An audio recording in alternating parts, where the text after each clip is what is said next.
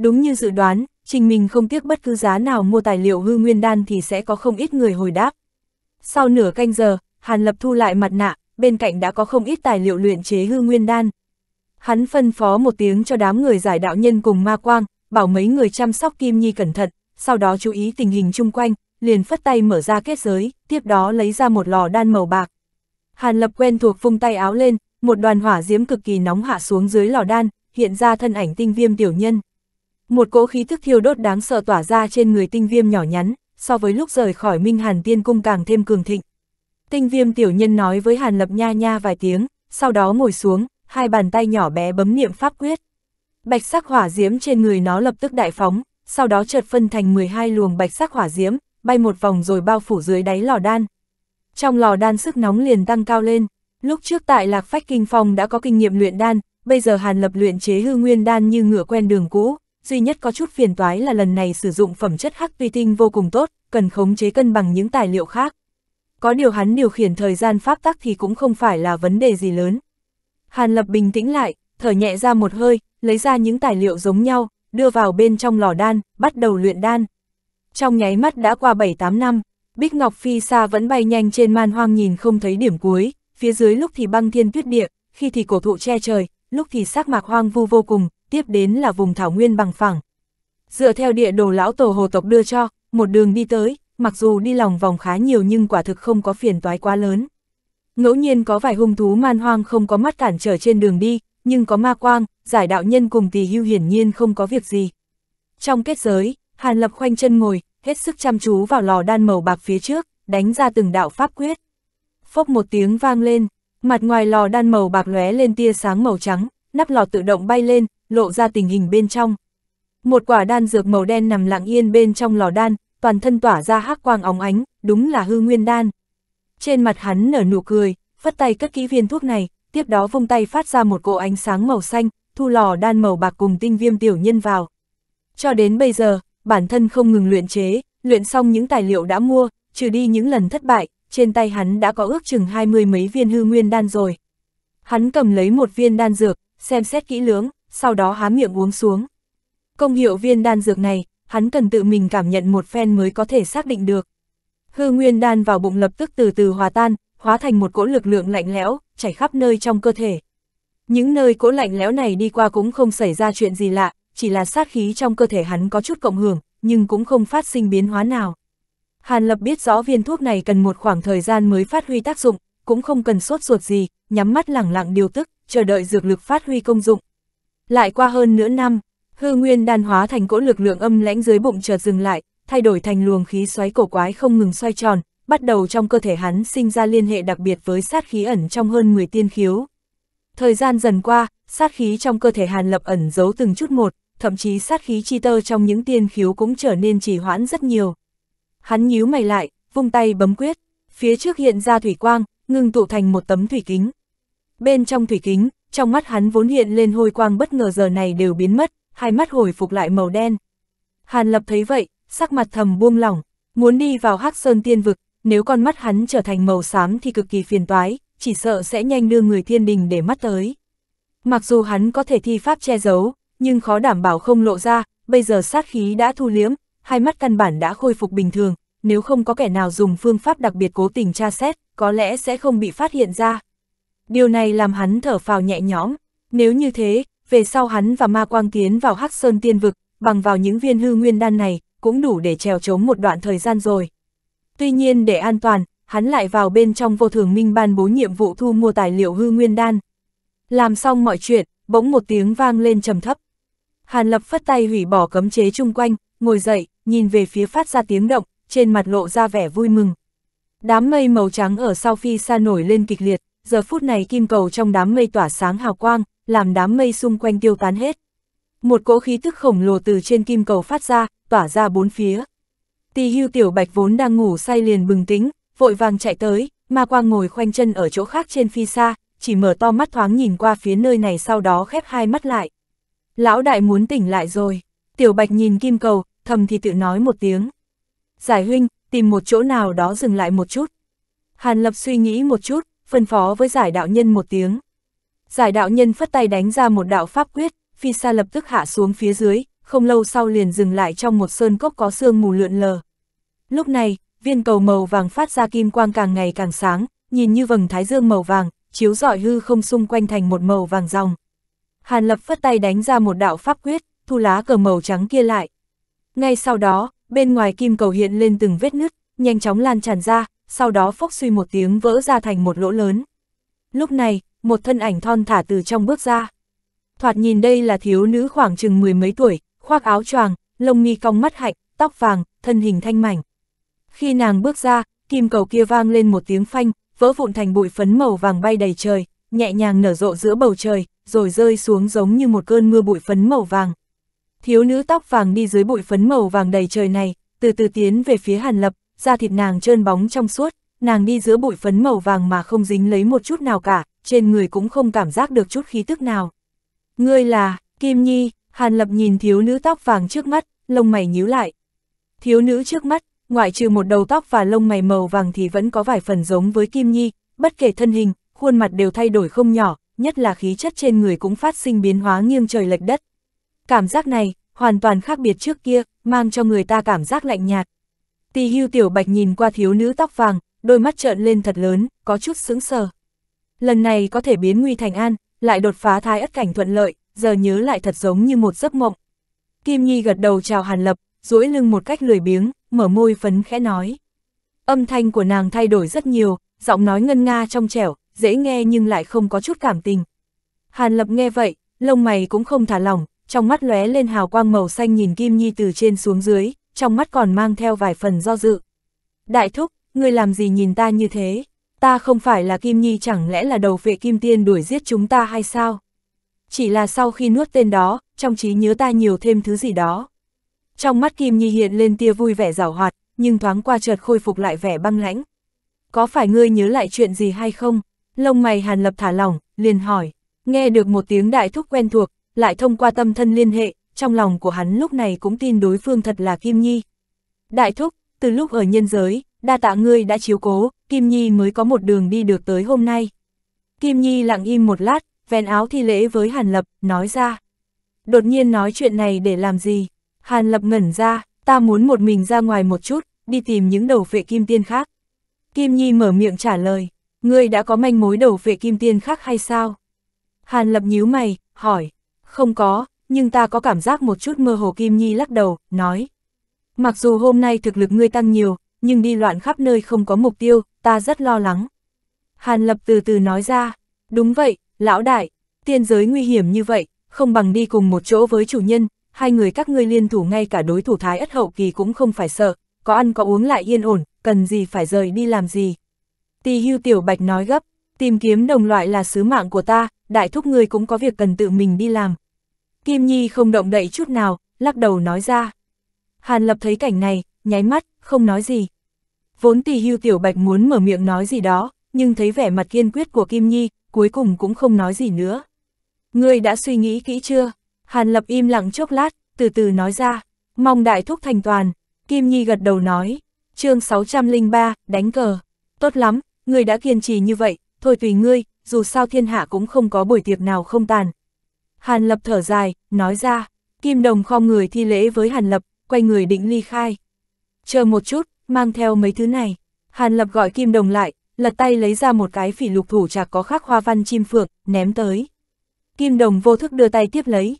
Trong này có một địa đồ man hoang, còn có một ít linh bảo và tiên nguyên thạch, có lẽ đủ cho ngươi dùng một đoạn thời gian. Ngoài ra, còn có mấy cái mặt nạ vô thường minh. Nếu ngươi cần trợ giúp, tùy thời đưa tin cho ta biết. Hàn Lập nói ra nhàn nhạt, đối với Kim Đồng, hắn cũng không biết là cảm giác gì, giống như chiến hữu thân mật cùng nhau chiến đấu, lại giống như con gái được chăm sóc từ nhỏ đến lớn. Kim Đồng nhìn thủ trạc hoa văn chim phượng trong tay, trong mắt hiện lên một tia phức tạp, không cự tuyệt, yên lặng đeo lên cổ tay trái.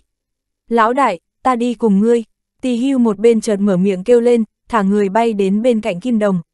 Tiểu Bạch, Kim Đồng khẽ giật mình, lão đại, lúc trước ngươi đã từng nói muốn thu ta làm tiểu đệ, ngươi không thể đổi ý a. À. Tì hưu dùng đầu cọ sát Kim Đồng, nói như thế. Để cho Tiểu Bạch theo ngươi cũng tốt, nếu gặp vệ kim tiên lợi hại khác, cũng có thể tiến vào trong cơ thể nó tránh né một chút. Đuôi lông mày hàn lập khẽ động, nói ra, được rồi, mang theo ngươi cũng được, bất quá ngươi tranh thủ thời gian tăng thực lực lên, nếu dám vướng chân vướng tay, ta lập tức đá ngươi văng ra.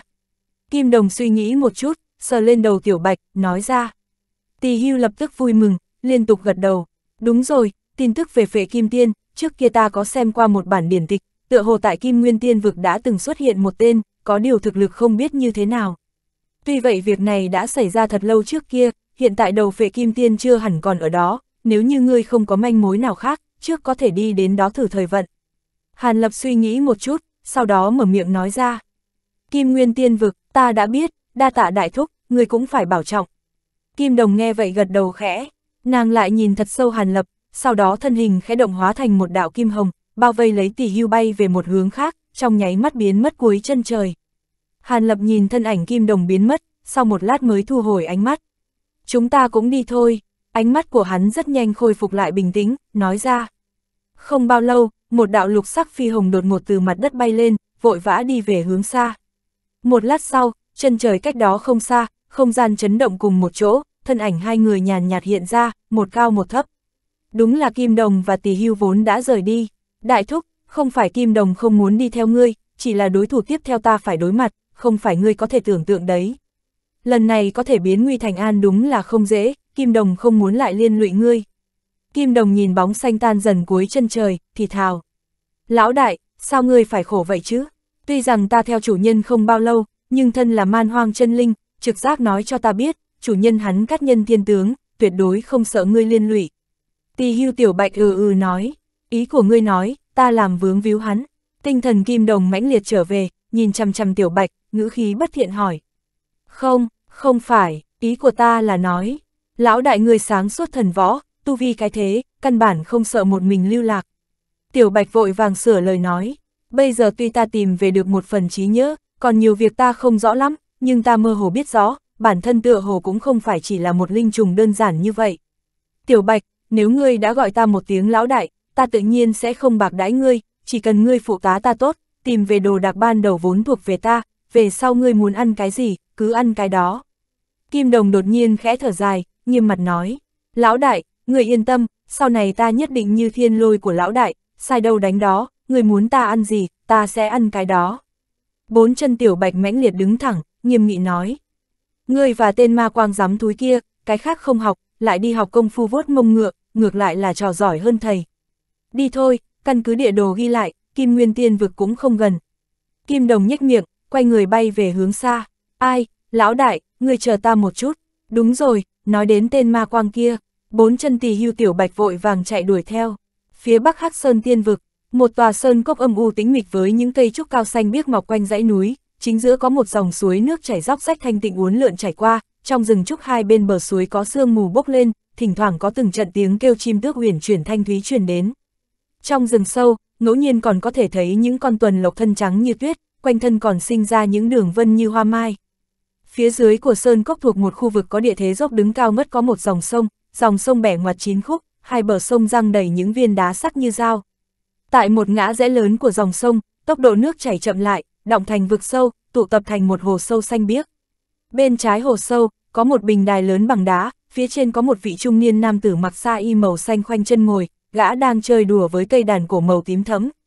Ngũ quan gã đoan chính, khuôn mặt tuấn Mỹ, một đầu tóc xanh trái dài trên vai sau lưng, nhìn rất xuất trần, mười ngón tay hết sức nhỏ trắng như tuyết lướt trên dây đàn, phát ra trận trận âm thanh yêu mỹ, như dòng suối chảy, rung động len keng. Cách gã không xa, một lão giả tóc đen cùng một lão giả tóc trắng ngồi đối diện nhau, chính giữa là một bàn cờ hình vuông, người tới ta đi, quân cờ ở phía trên tung hoành như điều khiển giang sơn. Trong đó lão giả tóc đen một thân quần áo thập phần sạch sẽ, không có nếp nhăn nào, đầu tóc đen được búi lên cao cẩn thận, thoạt nhìn rất gọn gàng, giống như chuôi trường kiếm ra khỏi vỏ, phong mang vô hạn. Đối diện với lão là một lão giả tóc trắng bộ dáng lôi thôi hơn nhiều, lão mặc một kiện trường bào xanh nhạt, phía trên thêu giải rác từng đường vân hỏa diễm, hai bên bả vai rũ xuống, một tay chống đầu, tóc xóa tung bay tán loạn, lại còn buồn ngủ, nhìn hết sức lười biếng.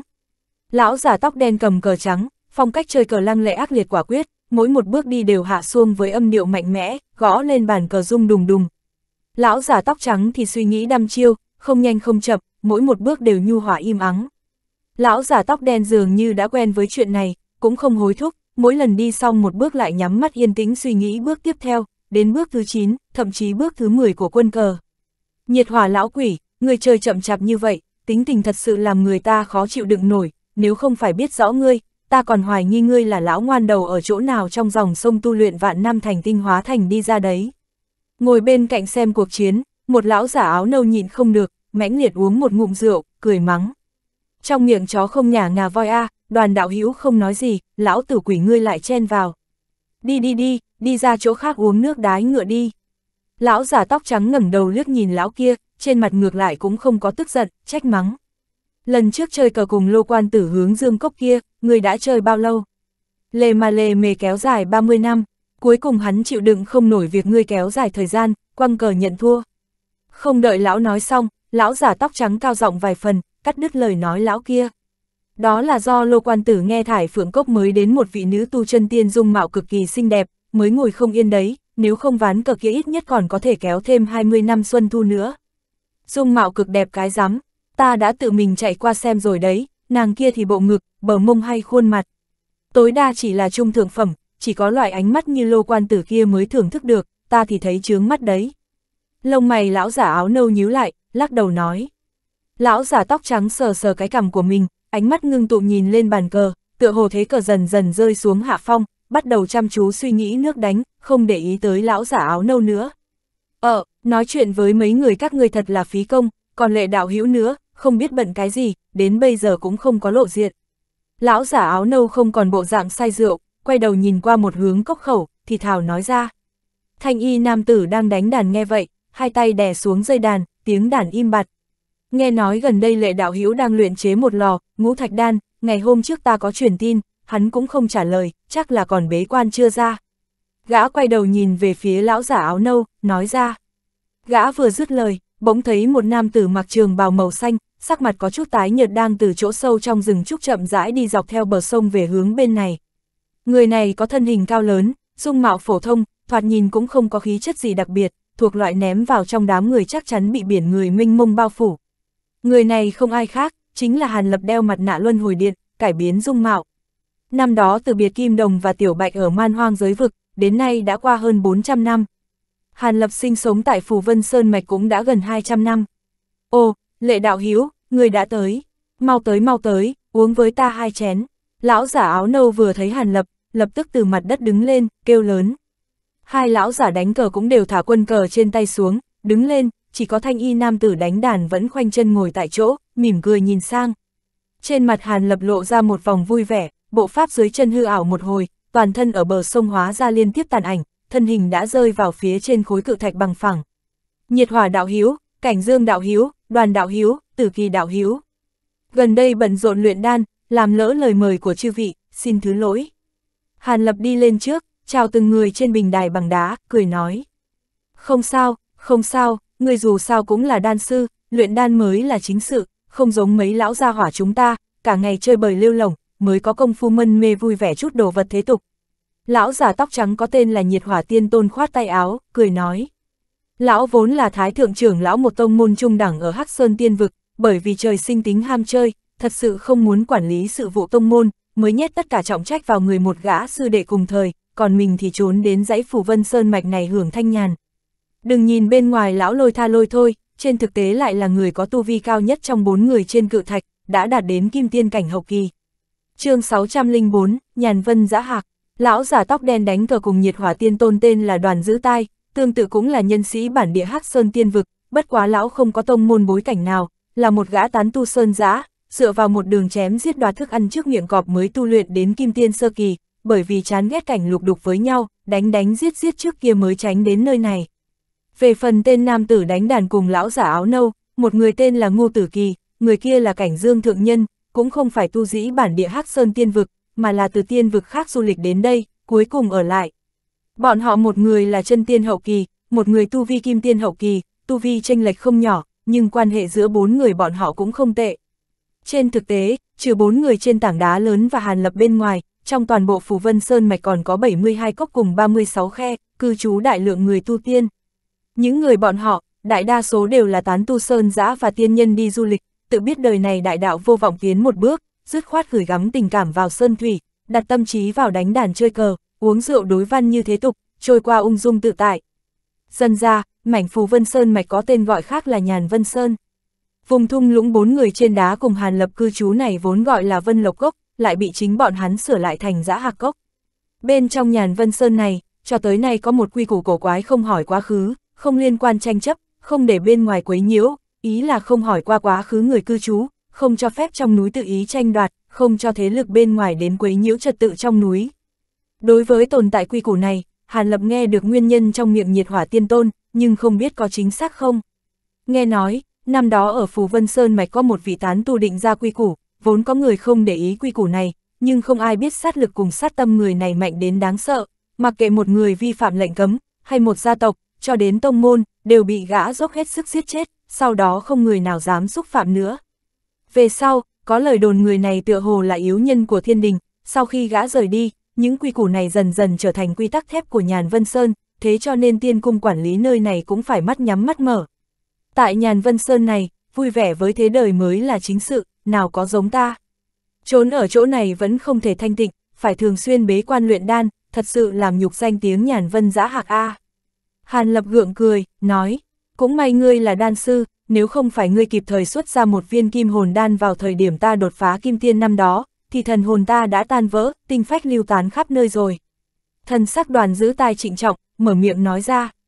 Đoàn đạo hữu không nên mỗi lần nói vẻ mặt đều trịnh trọng như thế, đối với ta thì lần kia cũng chỉ là tiện tay mà thôi. Sau đó được ngươi tiến dẫn, ta mới tới giã hạc cốc này xây dựng động phủ, xem như ngươi đã trả nợ ân tình rồi. Hàn Lập vừa cười vừa nói, ân cứu mạng, đoàn mỗ nào có thể trả hết được. Trong mắt đoàn giữ tai lóe ra vẻ xấu hổ, nói. Đối với tính khí xem trọng ân nghĩa tình cừu như giang hồ thế tục của gã, Hàn Lập ngược lại sớm đã lĩnh giáo, vui vẻ không khuyên bảo gì nữa. Đúng rồi, Mạc Tiên Tử đâu? Hôm nay cũng lỡ hẹn rồi hả? Ánh mắt của hắn quét một vòng qua bốn phía, tiếp tục hỏi. Mạc Vô Tuyết, người còn không biết sao? Nàng đi đến thanh phong nhai khô thiền rồi. Ngô Tử Kỳ nói, nàng đi khô thiền, không phải là ngồi ngẩn người ra sao? Thoáng một cái có thể lên tới 10 năm trăm năm, trong đám quái nhân tụ tập ở nhàn Vân Sơn, cũng xem như rất hiếm thấy đấy. Cảnh Dương Thượng Nhân khinh bỉ nói, ai, tuy nói đại đạo đời này vô vọng, nhưng cũng không thể lãng phí như vậy. Nếu như tu hành không thú vị, sao không gửi gắm tình cảm nhân gian? Phong hoa tuyết nguyệt, cầm kỳ thi họa, luôn luôn có niềm vui thú. Ngô Tử Kỳ có chút tiếc hận nói, Phong hoa tuyết nguyệt không phải là một người có thể độc hưởng niềm vui thú được, cần phải có Tử Kỳ ngươi giúp một tay. Trong lòng Hàn Lập biết Ngô Tử Kỳ sớm đã lưu luyến Mạc Vô Tuyết, trêu chọc cười nói. Ngô Tử Kỳ nghe vậy tiếu ý trên mặt không giảm, nhưng trong lòng thở dài một hơi. Mạc Vô Tuyết chính là một tu sĩ kim tiên sơ kỳ, gã bất quá chỉ là một chân tiên hậu kỳ, hơn nữa tư chất có hạn, khả năng đời này không bước qua lằn danh kim tiên kia, tai kiếp thiên nhân ngũ suy còn lơ lửng trên đầu, nào dám hy vọng xa vời kết thành đạo lữ cùng nàng. Đúng rồi, nghe nói lệ đạo hữu người gần đây luyện ra một lò ngũ thạch đan, có thể bán cho ta một viên hay không? Lúc này, cảnh dương thượng nhân bỗng nhiên thu hồi bầu rượu, tiến lên cười hì hì hỏi thăm. Bán, cảnh dương đạo hữu nói lời này đúng là quá khách khí. Hàn lập khoát tay áo, nói, lão giả áo nâu nghe lời ấy, lập tức mặt mày hớn hở. Còn không chờ lão cười xong, Hàn Lập nói câu tiếp theo khiến cho khóe miệng lão nhếch đến mang tai chợt co quắp lại. Bằng quan hệ hai ta cần gì phải mua, ngươi dùng một bình lục phôi tử đổi là được rồi. Lục phôi tử này là cảnh dương thượng nhân học được một phương pháp trưng cất rượu hết sức đặc thù từ một cuốn sách cổ, đổ vào hơn 100 vị tinh hoa tiên chi linh thảo, mới chế ra tiên tử thanh thuần này, số lượng cực ít, giá trị lớn không kém ngũ thạch đan. Mọi người thấy bộ dạng cảnh dương thượng nhân đau lòng khó nhịn, trong nội tâm đều âm thầm bật cười. Vẫn là rượu ngon có tư vị tốt hơn, đan dược cái gì? Có cái chưng ấy, cuối cùng, cảnh dương thượng nhân vẫn không nỡ bỏ rượu ngon, lầm bầm một tiếng, nói.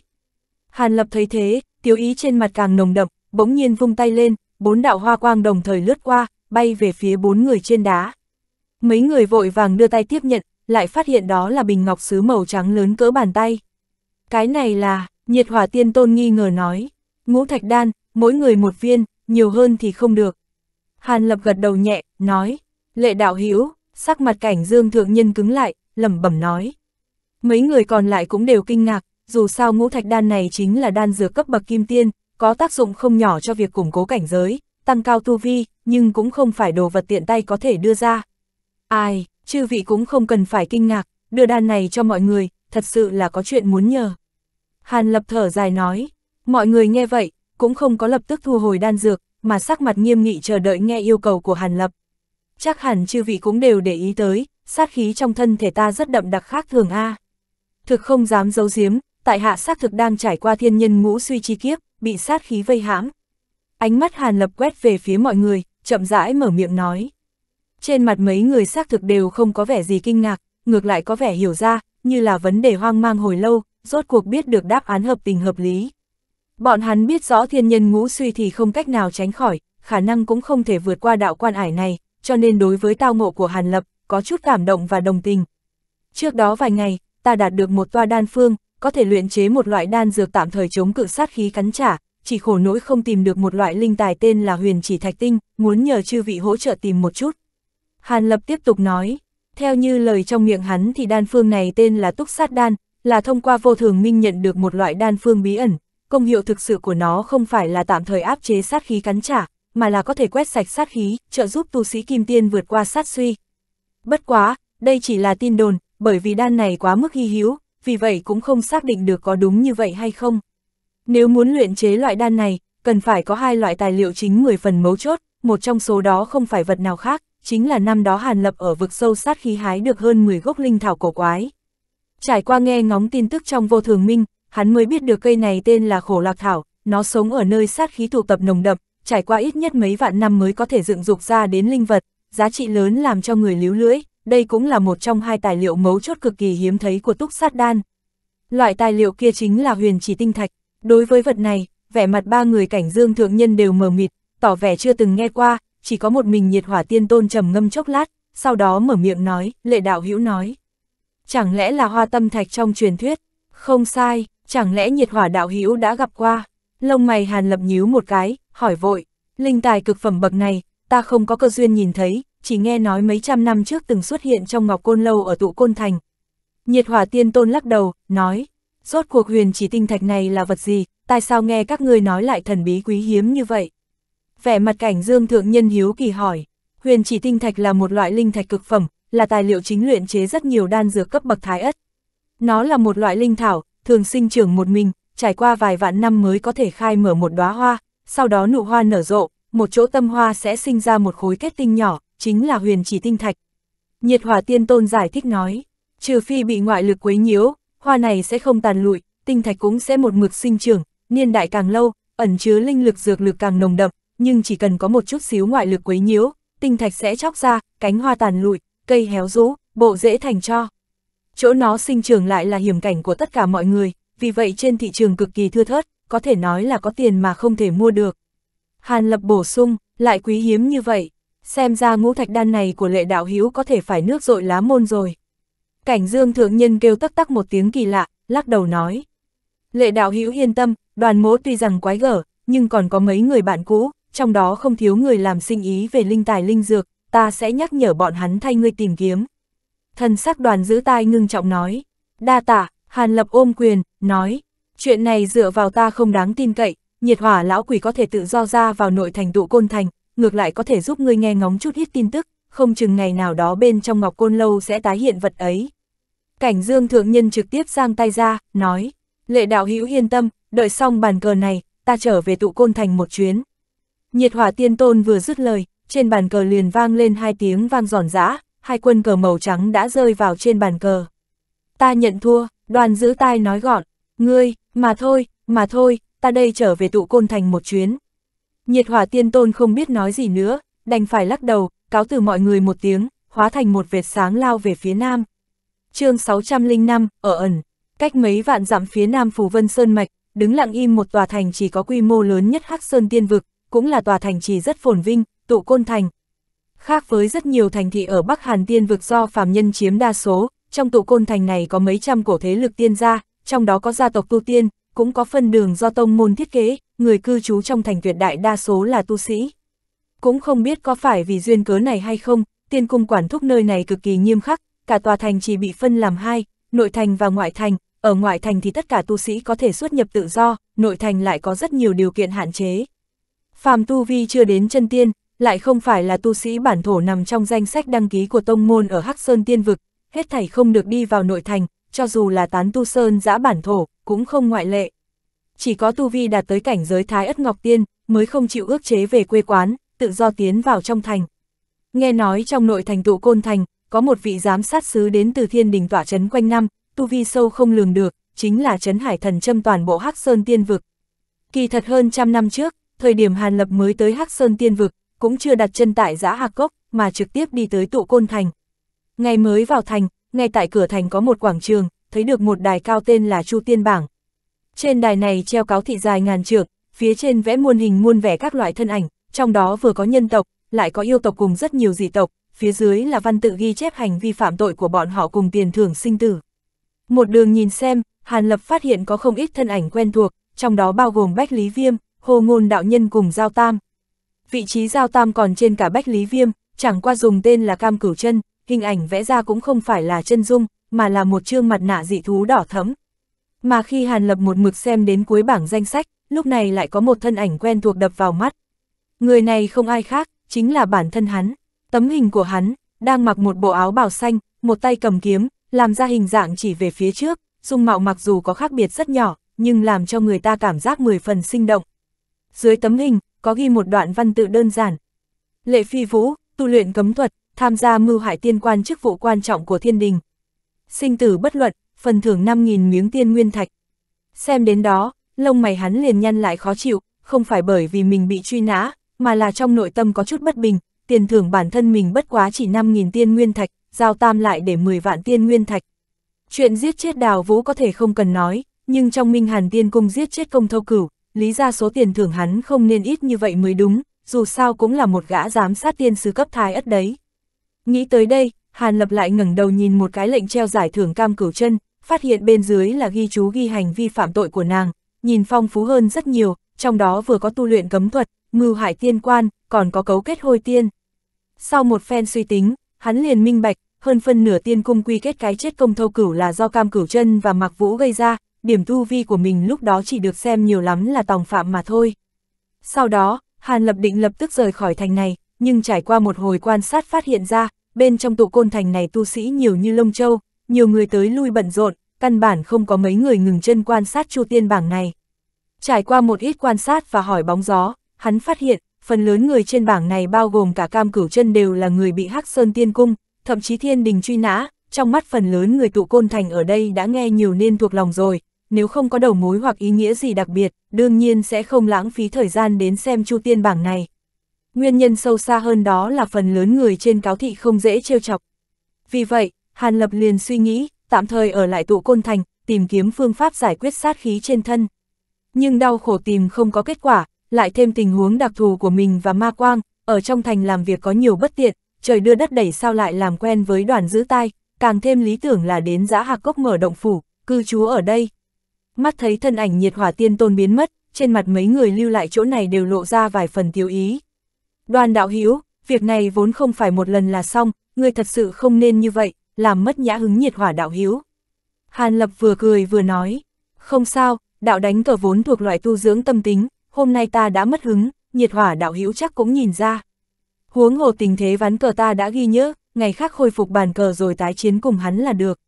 Đoàn giữ tay khoát tay áo, nói, dứt lời, gã vùng ống tay áo lên, một tia ô quang hiện lên, thu toàn bộ bàn cờ vào. Hắc hắc, lệ đạo hiếu, lần trước ngươi nói muốn trưng cất mấy hũ hỏa tiên tử, không biết. Lúc này, cảnh dương thượng nhân lại nhích lại gần, cười hì hì hỏi thăm. Tư vị hỏa tiên tử không thể so với lục phôi tử của ngươi, ủ chế không khó như vậy, đương nhiên là tốt rồi. Hàn Lập nghe vậy, cười ha ha nói, trên thực tế lục phôi tử còn chưa hoàn toàn ủ thành, kém mấy nghìn năm hỏa hầu, bây giờ nếu lấy ra liền, thật sự có chút phung phí của trời. Cảnh dương thượng nhân hơi ngượng ngùng, nói, ha ha, biết rõ cảnh dương đạo hữu không phải người nhỏ mọn như vậy. Hàn Lập vừa cười vừa nói, nói xong, chỉ thấy hắn vung tay lên, một ánh hào quang hiện ra, một cái vỏ rượu màu vàng đất liền rơi vào bên chân cảnh dương thượng nhân. Trên mặt cảnh dương thượng nhân vui vẻ, vội vàng ôm lấy vỏ rượu, mở nắp bình ra, nhẹ nhàng ngửi thoáng một phát, lập tức mặt mũi tràn đầy say mê nói.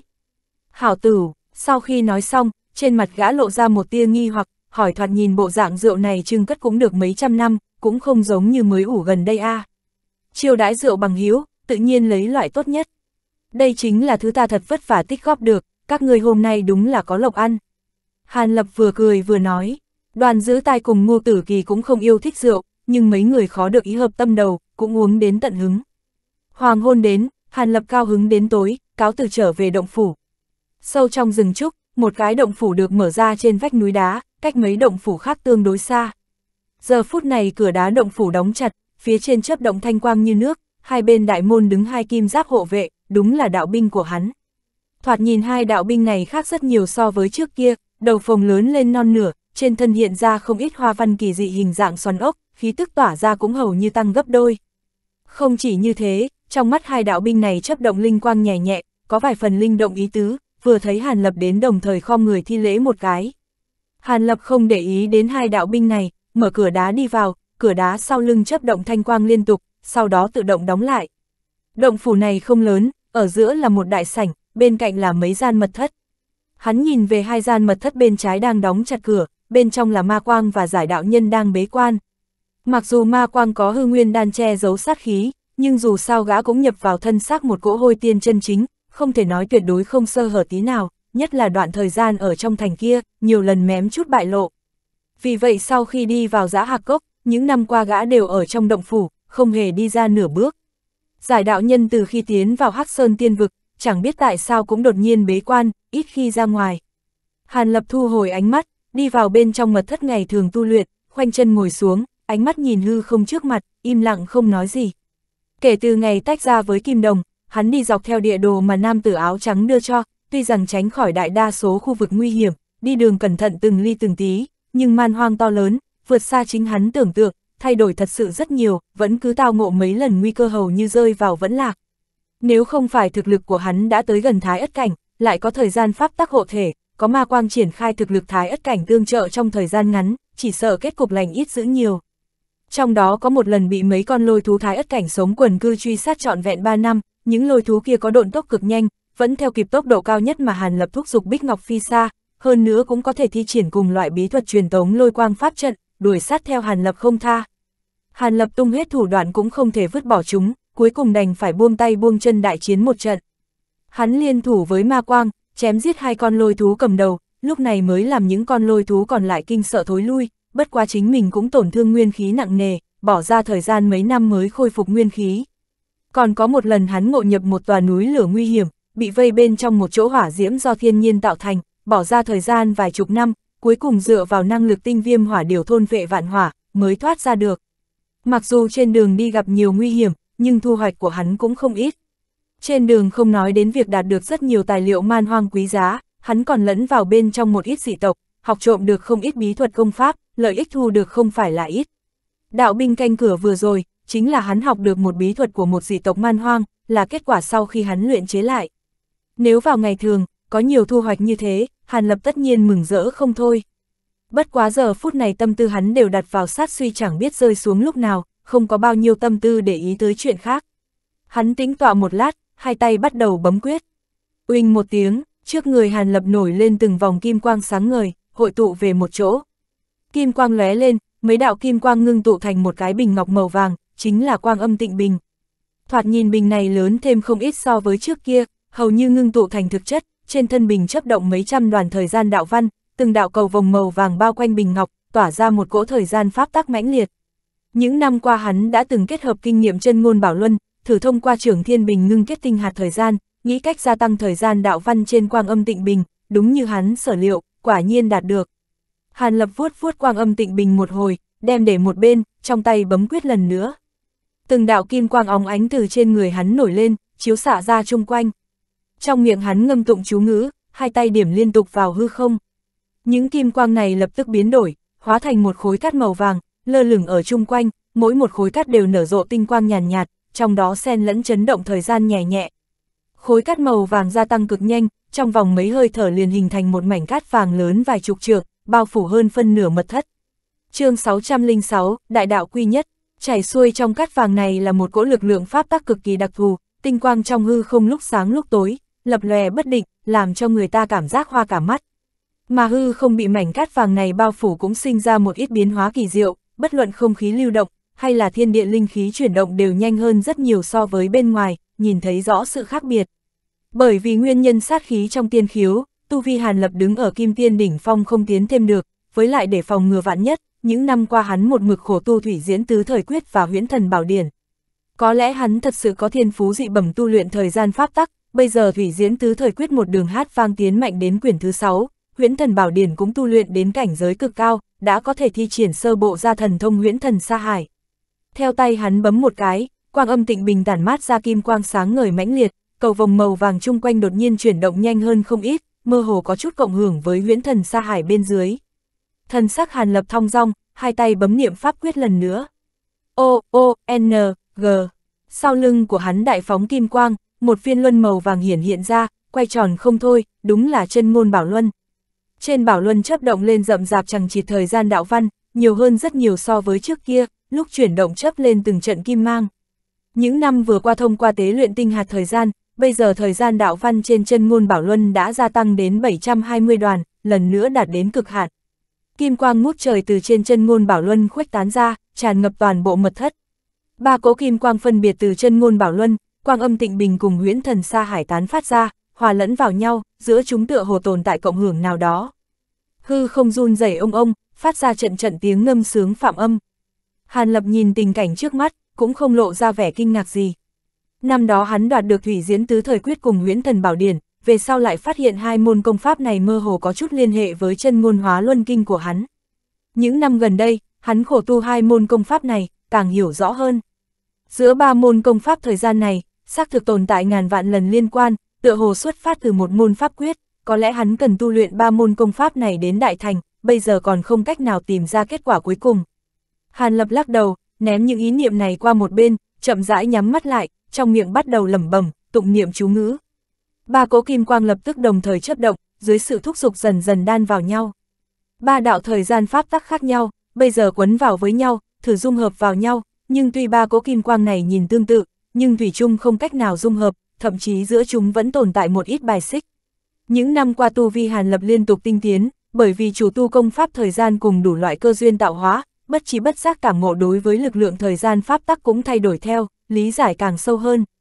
Thời gian pháp tắc với tư cách là một trong tam đại trí tôn pháp tắc, là trọng yếu nhất cả chân tiên giới, cũng là quy tắc cơ bản nhất thiên địa.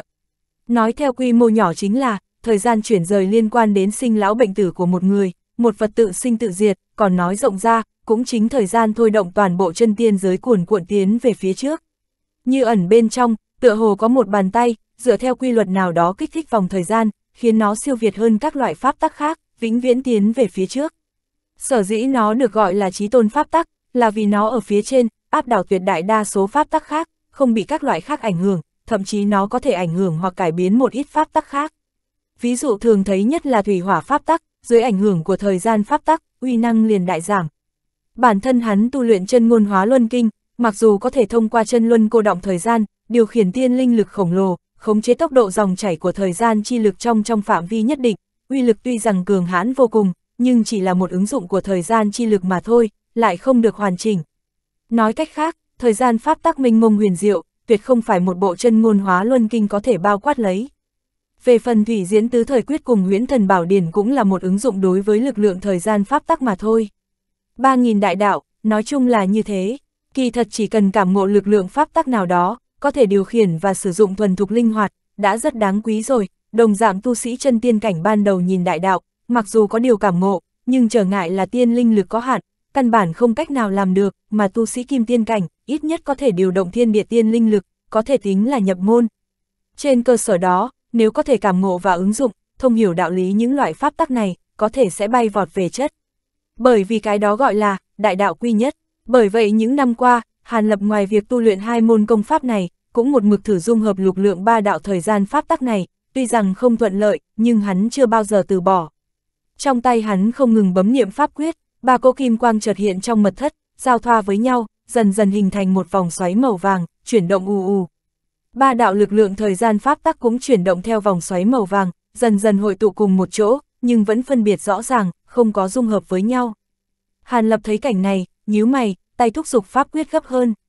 Nhưng vào lúc này, vòng xoáy màu vàng sáng ngời mãnh liệt, chuyển động gấp hơn, hơn nữa bắt đầu thu nhỏ lại.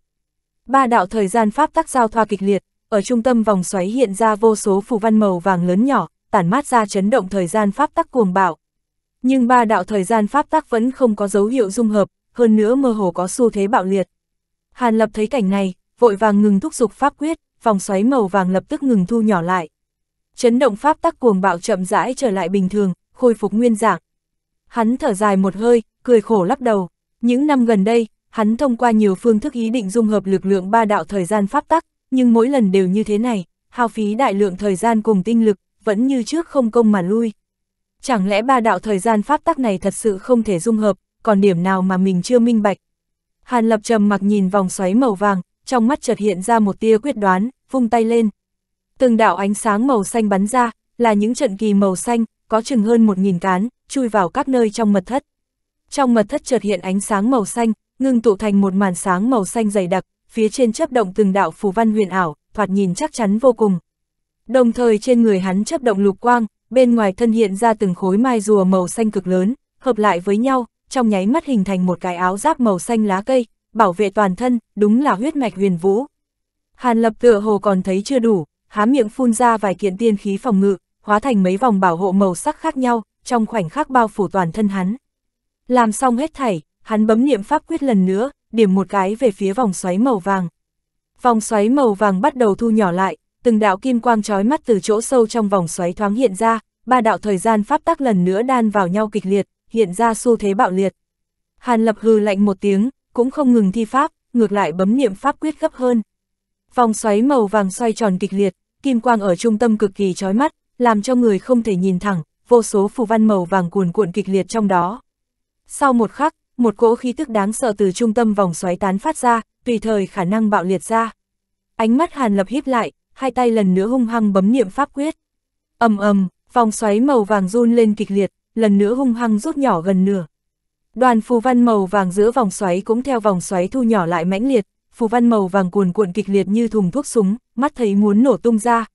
Nhưng vào thời khắc này, dị biến phát sinh, ba đạo lực lượng pháp tác xung đột kịch liệt chợt biến đổi, tựa hồ bị áp bách đến cực hạn, rốt cuộc khuất phục, trở nên nhu hòa, dung hợp lại với nhau. Phù văn màu vàng cuồn cuộn kịch liệt mãnh liệt hướng vào phía trong, nhanh chóng thu nhỏ lại, thình lình lóe lên hóa thành một vòng tròn màu vàng chớp động tinh quang, vòng xoáy màu vàng phía ngoài cũng như trường kình hấp thủy dung nhập vào trong vòng tròn màu vàng. Kim quang bao trùm trong mật thất đều biến mất, chỉ còn lại có vòng tròn màu vàng nho nhỏ, chớp động lên kim quang nhàn nhạt, nhạt, lẳng lặng lơ lửng. Một màn trước mắt hoàn toàn vượt quá suy đoán của Hàn Lập, hắn trợn mắt há hốc miệng nhìn xem hết thảy, trên mặt lộ ra một tia kinh hỉ. Nhưng vòng tròn màu vàng kia lại không ổn định, chỉ tồn tại một lát liền bắt đầu rung rung kịch liệt, mặt ngoài mơ hồ hiện ra từng vết dạn, tựa hồ lại sắp tan vỡ.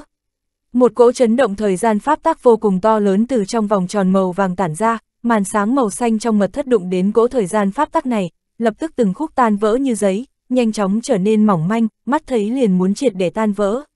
Hàn lập chứng kiến cảnh này, nhướng mày. Trong động phủ tuy rằng còn phân bố nhiều cấm chế khác, nhưng đoán chừng cũng không cách nào ngăn cản cỗ thời gian pháp tắc cường đại này. Nếu tình huống nơi này lại khiến người khác chú ý thì hỏng bét. Hắn đang muốn thi pháp áp chế cỗ thời gian pháp tắc này thì lúc này dị biến phát sinh lần nữa. Một đoàn lục quang từ trong lòng ngực của hắn bắn ra, lơ lửng giữa không trung, đúng là trường thiên bình, miệng bình hướng về phía vòng tròn màu vàng kia. Bình này bỗng nhiên tỏa sáng hào quang, nở rộ lục quang trói mắt, giống như một đoàn mặt trời lục sắc. Một cỗ hấp lực cường đại chợt từ trong bình tán phát ra, vèo một tiếng, hút vòng tròn màu vàng vào. Sau khi vòng tròn màu vàng biến mất, cỗ thời gian pháp tắc đáng sợ cũng bỗng nhiên biến mất vô tung, màn sáng màu xanh trong mật thất cũng ngừng tan vỡ. Trường Thiên Bình nhanh chóng biến lớn lên, trong bình hiện ra vô số phù văn lục sắc, lập tức ngưng tụ thành một đoàn lục vân, cuồn cuộn không thôi. Một cỗ chấn động pháp tắc mãnh liệt từ giữa lục vân tán phát ra, khiến cho hư không phụ cận chấn động không thôi, nổi lên từng gợn sóng lấy mắt thường có thể thấy được. Hàn Lập thấy một màn này, hơi ngẩn ra. Vào thời khắc này, giữa chân ngôn bảo luân bỗng nhiên mở ra một con mắt nằm dọc màu vàng, từ trong bay ra một đạo tinh ti màu vàng, lóe lên chui vào trường thiên bình biến mất. Đoàn lục vân trong bình bỗng nhiên sáng ngời, hóa thành một cột sáng lục sắc vừa thô vừa to phóng ra, chui vào trong hư không phía trước. ầm ầm ầm, hư không vỡ ra hai bên, vô số tinh quang từ trong khe hở không gian chen trúc chui ra, ngưng tụ thành một mặt tinh bích, phía trên chợt hiện hào quang, thỉnh thoảng có cảnh vật nhanh chóng hiện lên. Nét mặt Hàn Lập lộ ra một tia thất vọng, còn tưởng rằng lần này Trường thiên bình sẽ phát sinh dị biến nào khác, xem ra vẫn giống như trước, có lẽ lại là thần hồn xuyên không. Vào thời khắc này, trên Trường thiên bình lóe lên hào quang, nổi lên hai con mắt màu đen nhỏ như hạt đậu, nhìn qua Hàn Lập, lộ ra một cỗ thần tình thập phần nhân cách hóa. đồng thời, trong đầu Hàn Lập bỗng nhiên nhớ tới một thanh âm mông lung. Rốt cuộc đến một bước này sao? Chương 607, dòng sông thần bí. Hàn Lập nghe được âm thanh này, sắc mặt liền thay đổi. Không đợi hắn kịp làm gì, hào quang trên bức tường tinh bích chợt tỏa sáng, hiện ra vòng xoáy thật lớn, xoay tròn ù ù dữ dội. ầm một tiếng vang lên, một cỗ lực hút khổng lồ từ bên trong vòng xoáy tỏa ra, bao phủ cả thân thể Hàn Lập vào. Cỗ lực hút này vô cùng mạnh mẽ, hơn xa mấy lần trước, thân thể của hắn mơ hồ cũng bị hút vào theo. Nhưng một lúc sau, sức hút đang bao phủ Hàn Lập chợt biến mất vô hình. Hắn cảm thấy trong đầu đau nhức, tiếp đó thần hồn vô lực liền bị hút vào, mắt tối sầm lại, liền mất đi ý thức. Không biết trải qua bao lâu, ý thức Hàn Lập mới từ mơ màng tỉnh táo lại, hắn nhìn bốn phía trung quang, khẽ ồ lên một tiếng. Lúc này hắn đang ở trong không gian tối tăm, phía dưới là một cánh đồng hoang vu màu đỏ, một mực kéo dài đến cuối chân trời. Trên cánh đồng hoang vu không có một ngọn cỏ, đập vào mắt chỉ có cát đá nhiều vô tận. Mà bầu trời phía trên cánh đồng hoang vu, bất ngờ có một dòng sông màu bạc phát ngang, chảy theo dòng rào rào, phát ra từng đợt âm thanh như tiếng sấm. Nhìn kỹ, dòng sông này không phải là dòng sông gì cả, mà là từng chùm sáng giống như từng giọt nước. Hàn lập lại nhìn bốn phía chung quanh, ánh mắt lộ vẻ kinh ngạc, nhưng không có di chuyển ngay. Lần này thần hồn tiến vào, dường như cảm giác khác xa mấy lần trước. Hoàn cảnh chung quanh, khắp nơi lộ ra một cỗ khí tức thần bí. Trong đầu hắn lập tức nhớ lại lúc nãy tiến vào, trên trường thiên bình xuất hiện một đôi mắt, còn có âm thanh mơ hồ. Với hắn cũng không xa lạ gì, chính là bình linh trưởng thiên bình. Về tiếng nói kia, 89 phần 10 là tiếng nói của bình linh. Bình linh nói thế là có ý gì? Tựa như mang theo vài phần mong đợi, còn có ý nhắc nhở nữa. Hàn Lập suy nghĩ không ra, hơn nữa cũng không phát hiện bình linh xung quanh, liền lắc đầu vứt ý nghĩ này ra khỏi đầu, không suy nghĩ về nó nữa. Lúc hắn lắc đầu, chợt phát hiện một vấn đề khác. Lúc này dường như hắn không có nhập hồn lên người bất kỳ kẻ nào, mà lấy một dạng hình thái thần hồn, lơ lửng trên không trung. Cái này, tâm thần hắn chấn động, liền suy nghĩ nhiều thứ trong đầu. Hẳn là mọi thứ lần này, bắt nguồn từ việc hắn đem ba cỗ lực lượng thời gian pháp tắc ngưng tụ thành vòng tròn màu vàng lần trước gây ra, tựa hồ vật đó làm trưởng thiên bình phát sinh biến hóa sâu hơn một tầng. Nghĩ thông suốt mọi chuyện, Hàn Lập bình tĩnh lại, ánh mắt lại đảo xung quanh. Trung quanh chỉ có cánh đồng hoang vu vô tận, cũng không đáng để tìm hiểu. Hắn liền thu hồi ánh mắt, thân hình khẽ động, bay lên dòng sông trên bầu trời, rất nhanh bay đến phụ cận.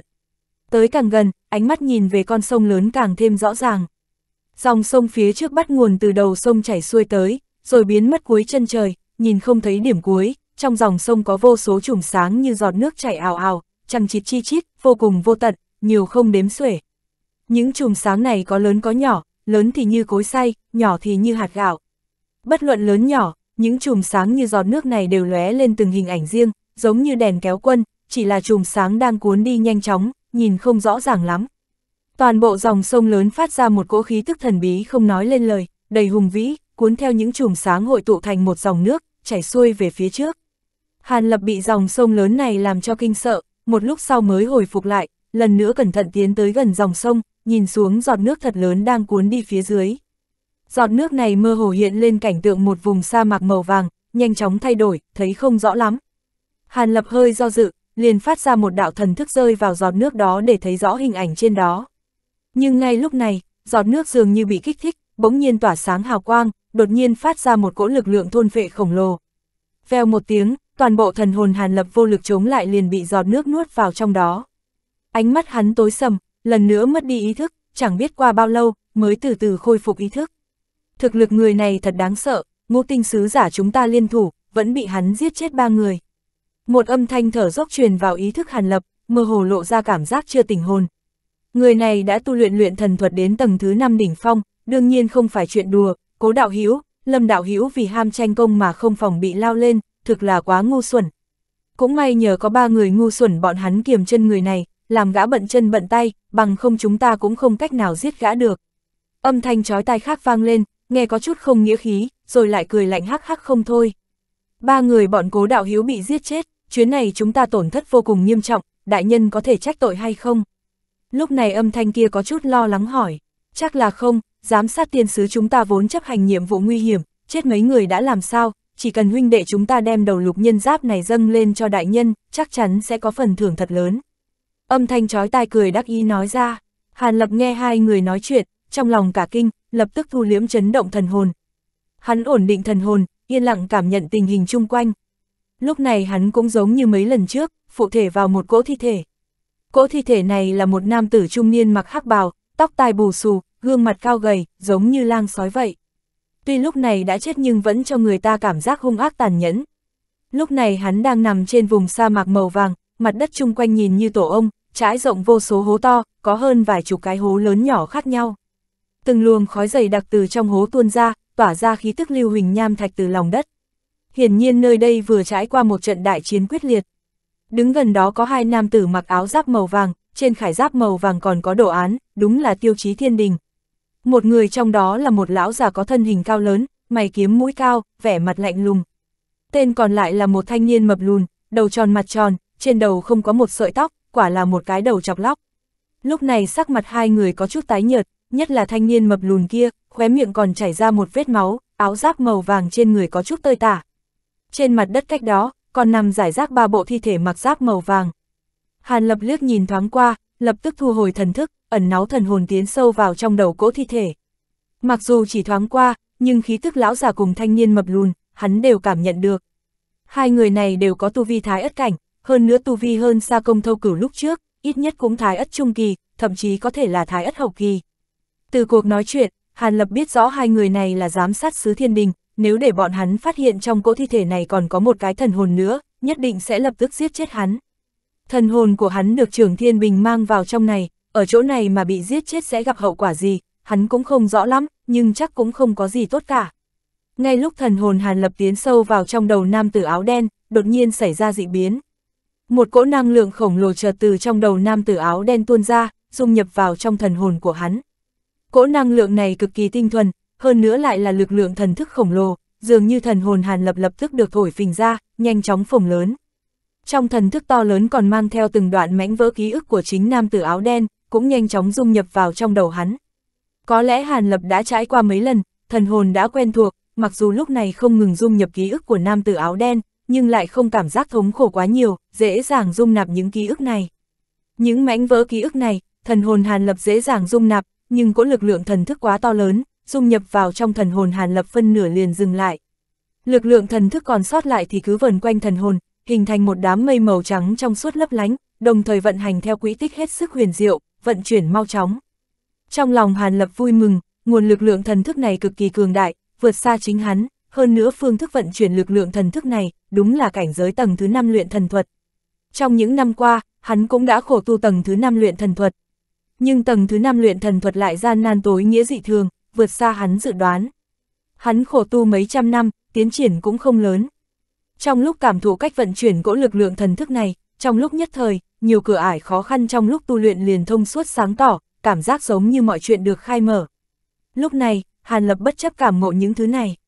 Hắn bỗng nhiên mở to mắt, chợt đưa tay chém ra một phát. Một đạo hắc quang chói mắt từ lòng bàn tay hắn bắn ra, đó là một thanh phi kiếm màu đen kịt. Phi kiếm tản ra hắc quang chợt sáng lên, mơ hồ biến mất vô hình. Ngay sau đó, vô số kiếm quang màu đen không một tiếng động từ hư không hiện ra, hóa thành một tòa kiếm sơn cự đại, chém về phía lão già cao lớn cùng thanh niên mập lùn. Dị biến lần này gây ra tiếng động khá lớn trong đầu nam tử áo đen, không có khả năng giấu giếm hai người bên cạnh. Quả nhiên, lúc này lão già cao lớn cùng thanh niên mập lùn đều nhìn lại thi thể trên mặt đất, vẻ mặt tràn đầy khiếp sợ, vội vàng bắn ngược về đằng sau. Bất quá hai người cũng không chú ý đến, một sợi tinh quang từ mi tâm hàn lập bắn ra, lóe lên chui vào hư không biến mất không thấy. Người còn chưa có chết, không thể nào, lão già cao to hét lớn một tiếng không thể tin được, tay chảo một cái mạnh mẽ xuống hư không về phía hàn lập. Vô số gợn sóng màu lam từ lòng bàn tay lão lao ra, ngưng tụ thành một hư ảnh dao long màu lam cực lớn, nhào tới phía kiếm sơn màu đen. Thân thể khổng lồ của dao long màu lam xoay chuyển, bất ngờ cuốn thẳng lấy kiếm sơn màu đen. Một cỗ lực lượng kỳ hàn từ hư ảnh dao long chợt bạo phát ra, hư không gần đó hiện ra từng đạo băng tuyết, cả phiến hư không bị đóng băng trong nháy mắt. Kiếm sơn màu đen trong ánh sáng màu lam chợt lóe lên, đột nhiên dừng lại, bất ngờ cũng bị đông kết tại chỗ, bên ngoài hiện ra một tầng dày đặc băng tinh màu lam. Trong mắt thanh niên mập lùn mơ hồ lộ ra một tia sợ hãi, nhưng lúc này cũng la lớn một tiếng, vung cánh tay lên. Một tiếng thanh minh vang lên, hai đạo hào quang đỏ thẩm từ trong tay áo gã bắn ra, đó là hai cây ngô câu đỏ ngầu. Ngô câu dài ba thước, toàn thân lóng lánh từng đoàn hỏa diễm màu đỏ, mơ hồ ngưng tụ thành nhiều đóa hỏa diễm đỏ thấm, tản ra một cỗ khí tức đáng sợ cực nóng. Hai cây ngô câu run lên hóa thành hai đạo cầu vòng màu đỏ, lượn quanh một cái rồi chém về phía Hàn Lập. Tay Hàn Lập vỗ xuống mặt đất, thân thể nhẹ như mảnh giấy bắn lên, tiếp đó uốn éo quỷ dị, hóa thành một đạo bóng đen, suýt nữa là bị hai đạo cầu vòng chém trúng. Cấm, khóe miệng của hắn lộ ra vẻ tươi cười, hai tay chợt bấm pháp quyết. Sau lưng lão già cao lớn từ hư không hiện ra vài sợi xiềng xích óng ánh lao tới, lóe lên chui vào trong đầu lão. Trên mặt lão lộ vẻ hoảng sợ, hai tay giơ lên, đang muốn làm gì đó. Nhưng sau một khắc, thần thái trong mắt lão chợt biến mất hoàn toàn, lộ vẻ mờ mịt, thân thể bay tới cũng ngưng lại, phảng phất như pho tượng đá ngây người tại chỗ. Khoảng cách hai bên lúc này khá gần, Hàn Lập lại đột nhiên đánh lén, lão già cao lớn đường đường là một đại tu sĩ thái ất cảnh, thực lực cơ hồ chưa kịp thi triển, liền bị thần niệm tù lung giam cầm lại.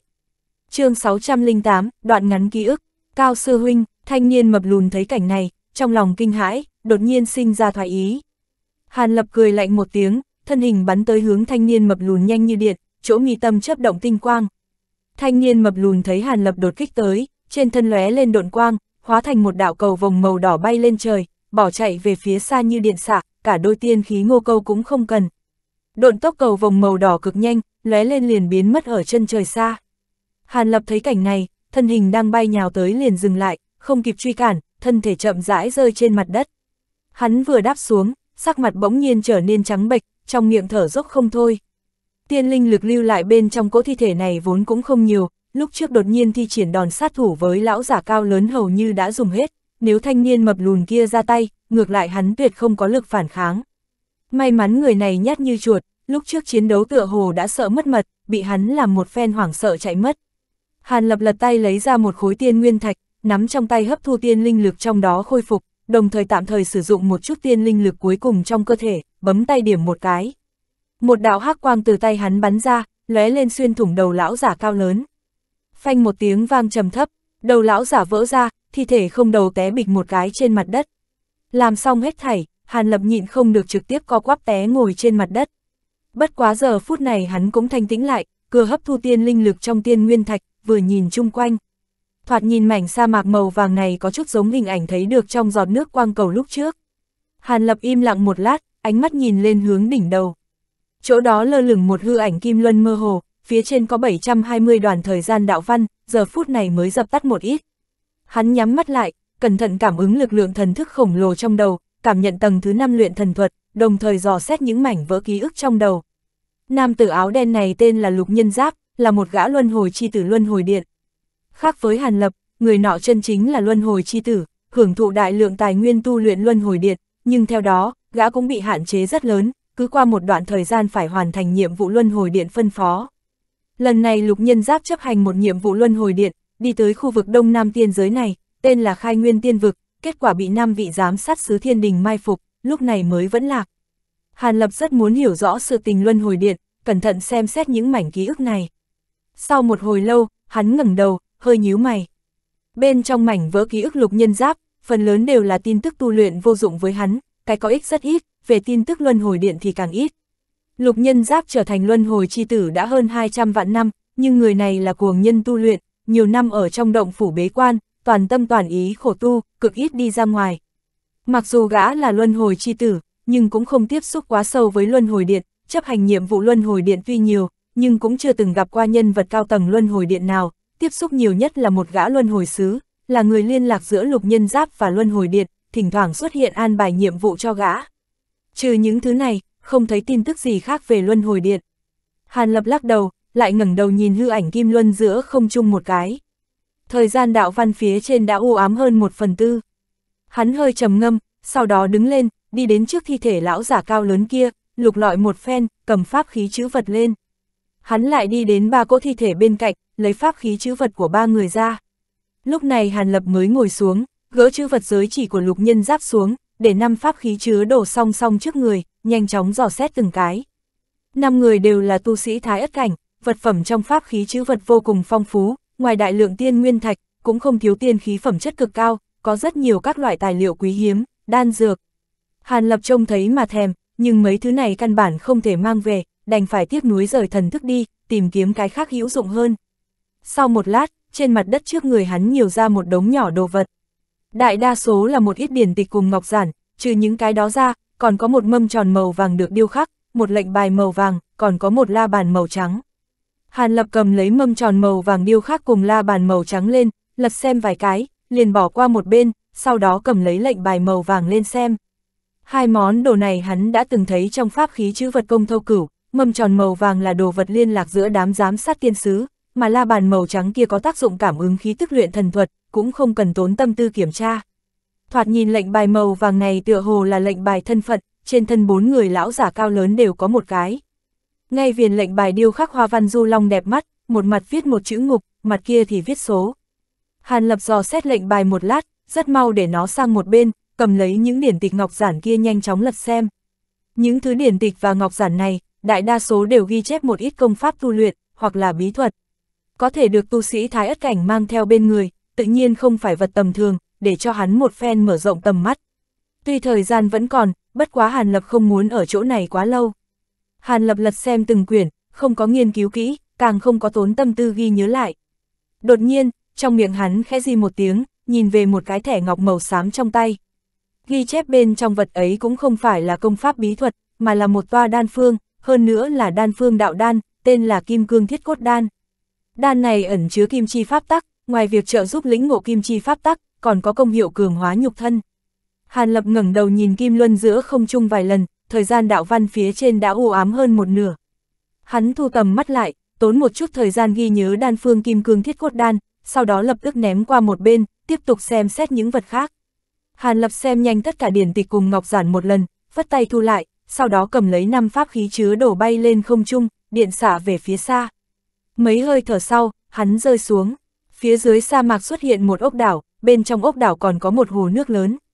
Hàn Lập phất tay đánh ra một cỗ hắc quang, bao trùm mấy cái pháp khí chữ vật, đưa vào đáy hồ vùi lấp nó. Làm xong những thứ này, hắn lập tức khoanh chân ngồi xuống bên cạnh ốc đảo, cảm ngộ luyện thần thuật tầng thứ 5 huyền diệu trong đầu. Hắn sở dĩ không có kiểm tra đồ vật bên trong pháp khí chữ vật, chính là vì tiết kiệm thời gian, cảm ngộ luyện thần thuật. Thời gian trôi qua từng chút, thời gian đạo văn trên kim luân ảm đạm xuống từng đoàn. Suốt cuộc, đoàn thời gian đạo văn cuối cùng cũng ảm đạm xuống.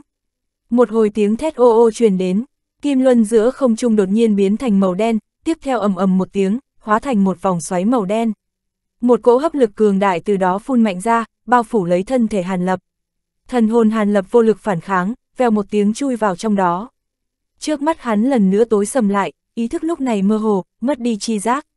Không biết qua bao lâu, ý thức Hàn Lập mới dần thanh tỉnh, từ từ mở mắt ra, phát hiện mình đã trở lại động phủ lúc trước. Lúc này Trường Thiên Bình vẫn còn lơ lửng giữa không trung, bất quá lục quang tỏa ra nhanh chóng u ám, cuối cùng hoàn toàn biến mất. Bình nhỏ cũng khôi phục nguyên dạng, rớt xuống. Hắn đưa tay bắt lấy, trong mắt chấp động tinh quang nhìn trưởng Thiên Bình, lập tức thần thức chui vào trong đó, thử câu thông bình linh đã thoáng nhìn thấy trước đây. Nhưng bất luận Hàn Lập kêu gọi thế nào, hoặc là dùng các loại thủ đoạn câu thông bình này, bình linh đều không có động tính chút nào, tựa hồ chìm vào giấc ngủ lần nữa. Hàn Lập bất đắc dĩ thở dài, thu trưởng thiên bình lại, lắc đầu. Lập tức hắn lật tay lấy ra một khối ngọc giản, ghi chép lại đan phương kim cương thiết cốt đan ghi nhớ lúc trước, tránh sau này bị quên. Cất kỹ ngọc giản, Hàn Lập hít sâu một hơi, sau đó nhắm mắt lại lần nữa. Lần này thần hồn xuyên không, bản thân tiến vào không gian thần bí kia, cũng chứng kiến dòng sông thần bí mang theo nhiều hình ảnh cổ quái, làm cho mình rung động không thôi, đồng thời cũng sinh ra không ít nghi hoặc. Tựa hồ, một màn kia thuộc về những chuyện trong quá khứ. Những người trước mắt này tựa hồ sẽ chết hoặc là đã chết, bản thân thần hồn bám vào trên thân những người này, có thể dò xét một ít mẩu ký ức chưa tản đi của họ, có thể xem một việc, hoặc là làm một việc gì đó.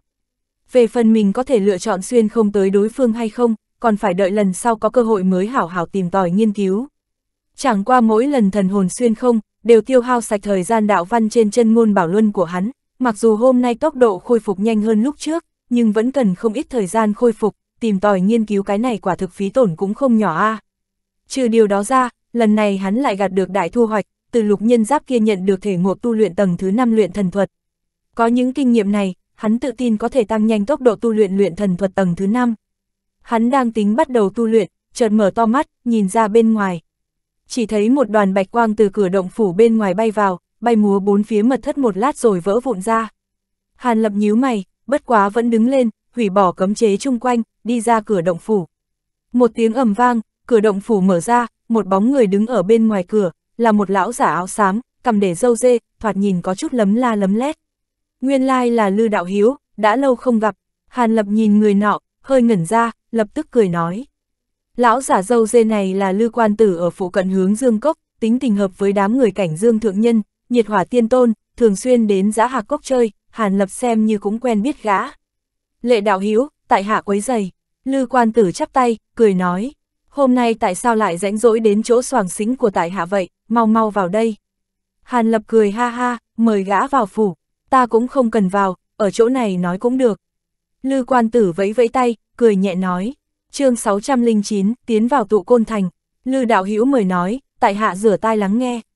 Hàn Lập khẽ giật mình, lập tức mỉm cười nói, cũng không phải đại sự gì, trước đó vài ngày tại hạ cùng mấy vị đạo hữu ở đây phát hiện một di tích phía bắc sâu trong thiên nhạc sơn mạch, bất quá bên trong lưu lại không ít cấm chế lợi hại, còn có một ít nguy hiểm khác. Vì vậy ta cùng mấy vị đạo hữu kia tự mình phản hồi, mời một ít người có thực lực, lần nữa đi tới khám phá.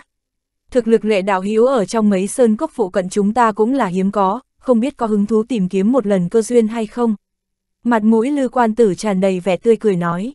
Hàn lập nghe những lời này, lông mày có chút nhăn lại, nhất thời không nói gì. Lư quan tử thấy thần tình hàn lập như vậy, vẻ tươi cười trên mặt thu liếm vài phần, nhưng cũng không mở miệng thúc giục. Đa tạ lư đạo hữu đã mời, chẳng qua gần đây lệ mỗ có chuyện hệ trọng khác, chỉ sợ là phải từ chối hảo ý của đạo hữu rồi. Hàn lập trầm mặc một hồi, mở miệng nói, à, nếu đạo hữu có chuyện quan trọng khác, tại hạ cũng không tiện cố ép. Lư quan tử thấy ngữ khí hàn lập quyết tâm như thế, trong lòng có chút tiếc nuối, nhưng cũng dứt khoát đứng dậy cáo từ. Hàn lập tiến người này ra khỏi động phủ, sau đó bế cửa động phủ, trở về mật thất, khoanh chân ngồi xuống. Thật ra hắn cự tuyệt lư quan tử, không chỉ vì bận biểu luyện thần thuật. Đang cân nhắc, tay hắn bấm quyết, trên thân đại phóng kim quang, chân ngôn bảo luân sau lưng hiển hiện ra, toàn bộ 720 đoàn đạo văn phía trên đều u ám. Lúc này toàn bộ thời gian đạo văn đã tắt, thực lực của hắn cũng theo đó đại giảm, thời điểm như thế này mặc dù có dụ hoặc lớn, hắn cũng sẽ không lựa chọn ra ngoài tầm bảo. Hắn phất tay tản đi kim quang trên thân, nhắm mắt lại. Chỗ mi tâm hàn lập hiện ra một tầng tinh quang, lóe lên chấn động nhẹ. Cửa động phủ của hắn vẫn đóng chặt, không mở ra. Những người giã hạc cốc khác thấy cảnh này, cũng không có tới quấy giày. Thời gian trôi qua, trong nháy mắt lại qua vài chục năm. Một ngày này, một vệt sáng từ đằng xa bay tới, rơi vào trước cửa động phủ Hàn Lập, hiện ra thân hình một lão giả tóc trắng rối tung, chính là nhiệt hỏa tiên tôn. Không đợi lão mở miệng truyền âm, cửa động phủ liền từ bên trong mở ra. Nhiệt hỏa đạo hiếu, không tiếp đón từ xa. Hàn Lập tươi cười từ bên trong đi ra. Cái tên này, động phủ của ta và ngươi cách nhau bao xa, cần gì phải ra nghênh đón chứ? Nhiệt hỏa tiên tôn vừa cười vừa nói. Mời vào, chúng ta vào động phủ nói chuyện. Hàn Lập nhường ra một đường, làm một động tác mời. Vào phủ cũng không cần a hôm nay đến đây chẳng qua là đưa ngươi một đồ vật. Lúc trước ngươi một mực bế quan không ra, đành phải kéo dài tới hôm nay mới đến. Nhiệt hỏa tiên tôn vội vàng khoát tay, nói. Hàn Lập nghe vậy, lông mày lập tức nhướng một cái, kinh hỉ kêu lên, chẳng lẽ tìm được huyền chỉ tinh thạch kia. Loại bảo vật này đâu phải bình thường có thể thấy được, chỉ sợ làm lệ đạo hữu thất vọng rồi. Nhiệt hỏa tiên tôn bất đắc dĩ cười nói, ồ, nếu không phải vật ấy, vậy nó là... Hàn Lập nghi ngờ hỏi, lòng bàn tay nhiệt hỏa tiên tôn lóe lên bạch quang, ném tới phía trước, một kiện đồ vật liền bay lên. Hàn Lập đưa tay tiếp lấy nhìn một chút, chỉ thấy đó là một khối lệnh bài bằng ngọc màu trắng lớn chừng bàn tay, phía trên điêu khắc một đồ án dạng lá đỏ, bên trái đồ án còn viết mấy chữ cổ truyện văn ngoại môn trưởng lão lệnh. Vật ấy chính là lệnh bài ngoại môn trưởng lão Hỏa Diệp Tông, là tông môn của nhiệt hỏa tiên tôn. Mặt sau lệnh bài, giữa một vòng phù văn nhỏ, lại khắc hai chữ to lệ hàn. Nhiệt hỏa đạo hiếu, cái này là... Hàn lập nhìn về phía lão giả tóc trắng, nói, có đồ chơi nhỏ này, về sau ngươi được xem như tu sĩ nằm trong danh sách đăng ký của hỏa diệp tông chúng ta, ngày sau có thể tự do ra vào tụ côn nội thành. Bất quá đây cũng chỉ là danh hào, cũng không có cung phụng như ngoại môn trưởng lão, tiểu gia nghiệp chúng ta không cung cấp nổi cho ngoại môn trưởng lão cấp kim tiên như ngươi A. Nhiệt hỏa tiên tôn nửa đùa nửa thật nói, nhiệt hỏa đạo hiếu, có lòng, ngươi yên tâm, nếu đã treo danh hào ngoại môn trưởng lão hỏa diệp tông, ta không thể không làm gì, sau này cứ 300 năm ta sẽ cung cấp một lò đan dược cấp chân tiên, số lượng chắc sẽ không ít, đương nhiên. Tài liệu tông môn phải bỏ ra, Hàn Lập ôm quyền, mở miệng nói, lệ đạo hiếu, chúng ta ở ẩn nơi này không phải là để thanh nhàn sao. Ta tặng lệnh bài kia cho ngươi, cũng không phải là để buôn bán với ngươi, lại không phải để ngươi rơi vào vướng bận tông môn, vì vậy ngươi không nhất định phải như vậy. Thần sắc nhiệt hỏa tiên tôn trầm lại, nghiêm túc nói. Chẳng qua chỉ là luyện chế một lò đan mà thôi, đối với đan sư như ta cũng không tính là gì, chẳng qua tốn chút tinh thần mà thôi, ngược lại vì làm lệnh bài trưởng lão này cho ta, chỉ sợ ngươi phí không ít công phu a. Hàn Lập vẫy vẫy tay cắt ngang lời nhiệt hỏa tiên tôn, nói. Tuy nhiệt hỏa tiên tôn nói không cần điều kiện, nhưng có qua có lại mới toại lòng nhau, đạo lý này hắn há không hiểu. Huống hồ trong ánh mắt lão giấu kín vẻ mừng rỡ, hắn há lại nhìn không ra. Mỗi 300 năm có một lò đan dược cấp chân tiên, trong ngắn hạn còn chưa đạt được gì, nhưng năm này tháng nọ tích lũy vài vạn năm, sẽ là một quang cảnh gì. Mặc dù không đến mức một bước lên trời, hỏa diệp tông trở thành tông môn cỡ lớn, nhưng đủ kéo ra khoảng cách với những tông môn đang cùng đẳng cấp hiện tại. Sống lâu trong sự trói buộc của tông môn, thì dễ dàng gì trở lại tự nhiên. Nói cho cùng, nhiệt hỏa tiên tôn này vẫn không bỏ xuống được tông môn, không quên vì tông môn mưu cầu. Tại tụ côn thành này, từng tông môn sẽ lần lượt thay đổi nhân sự quản lý, không để một tông môn quản lý liên tục, đồng thời Hắc Sơn Tiên Cung cũng thiết lập hành cung kiểm tra đăng ký. Ngoại môn đệ tử không thuộc biên chế chính thức, từ nội môn đệ tử đến ngoại môn trưởng lão, từ đệ tử hạch tâm đến nội môn trưởng lão, đẳng cấp càng cao, độ kiểm tra mạnh yếu cũng càng lớn. Hắc Sơn hành cung còn có một ít hảo hữu cũ, đăng ký một cái cũng không tốn bao nhiêu khí lực. Nhiệt hỏa tiên tôn nói, bất luận thế nào, vẫn phải đa tạ đạo hiếu. Hàn lập thi lễ với lão lần nữa. Lệ đạo hiếu, nếu khách khí như vậy nữa, ta phải thu hồi lệnh bài kia rồi. Nhiệt hỏa tiên tôn nói, ha ha, vậy tại hạ không khách khí nữa. Hàn lập cười nói, hai người lại trò chuyện phiếm vài câu, sau đó nhiệt hỏa tiên tôn cáo từ một tiếng, phi độn rời đi. Hàn lập vuốt vuốt ngọc bài trong tay, trong lòng suy nghĩ một chút, sau đó quay người trở về động phủ. Hai tháng sau, bên trong tụ côn thành, đường phố ngang dọc, có thể thấy được cửa hàng san sát nối tiếp nhau cùng dị thú kéo phi xa chứa hàng, xen lẫn dòng người hối hả là tiếng huyên náo, khắp nơi đều là cảnh tượng náo nhiệt đến cực điểm. Trên bầu trời, có thể thấy từng chiếc thuyền cực lớn của thương nhân, bay theo một quỹ tích hư không cố định, bay đáp xuống ngay ngắn trật tự trong từng bến cảng nội thành, vận chuyển đủ loại hàng hóa. Chỗ phân cách nội ngoại thành ở đây là một vòng tường thành cự đại cao hơn trăm trượng, phía trên có tu sĩ tuần thành đóng giữ tuần tra, bốn phương tám hướng thành đều mở ra một cái cửa lớn, mỗi cửa có tu sĩ chân tiên chấn giữ. Một chỗ cửa khẩu phía bắc nội thành, dòng người tương đối thừa thớt, trừ một số ít người vội vàng đi ngang qua, chỉ có hơn trăm người xếp thành một hàng dài, theo thứ tự được tu sĩ đóng giữ kiểm tra thực hư, tiến vào nội thành. Vị trí phía sau trong đội ngũ, Hàn Lập trong bộ trường bào màu xanh, đang nhìn cửa tòa thành từ trên xuống dưới. Chỉ thấy nơi cửa vào thành khắc rõ từng đạo phù văn pháp trận, mỗi khi có một người tiến vào, cổng tò vào thành liền sáng lên quang mang màu xanh, thoạt nhìn tựa hồ là dùng để kiểm tra tu vi người vào thành. Phàm là quang mang màu xanh sáng lên, liền đại biểu tu vi của người này là từ chân tiên sơ kỳ trở lên, chỉ cần hạch nghiệm qua thân phận, xác định là tu sĩ nằm trong danh sách tông môn đăng ký, là có thể thuận lợi tiến vào nội thành. Hàn Lập đang ở sau lưng mọi người, theo đội ngũ chậm rãi tiến về phía trước. Lúc này, bỗng nhiên có một đạo nhân ảnh vượt qua mọi người bên cạnh, cũng không xếp hàng, cũng không đưa ra bất kỳ cái gì chứng minh thân phận, không có kỵ tu sĩ thủ thành chút nào, cứ như vậy trực tiếp đi vào cổng tò vò thành. Thời điểm mọi người ở đây nghi hoặc thì vách tường chạm khắc phù văn cổng tò vò đột nhiên sáng lên quang mang mãnh liệt, phóng xuất ra từng trận kim quang lóa mắt.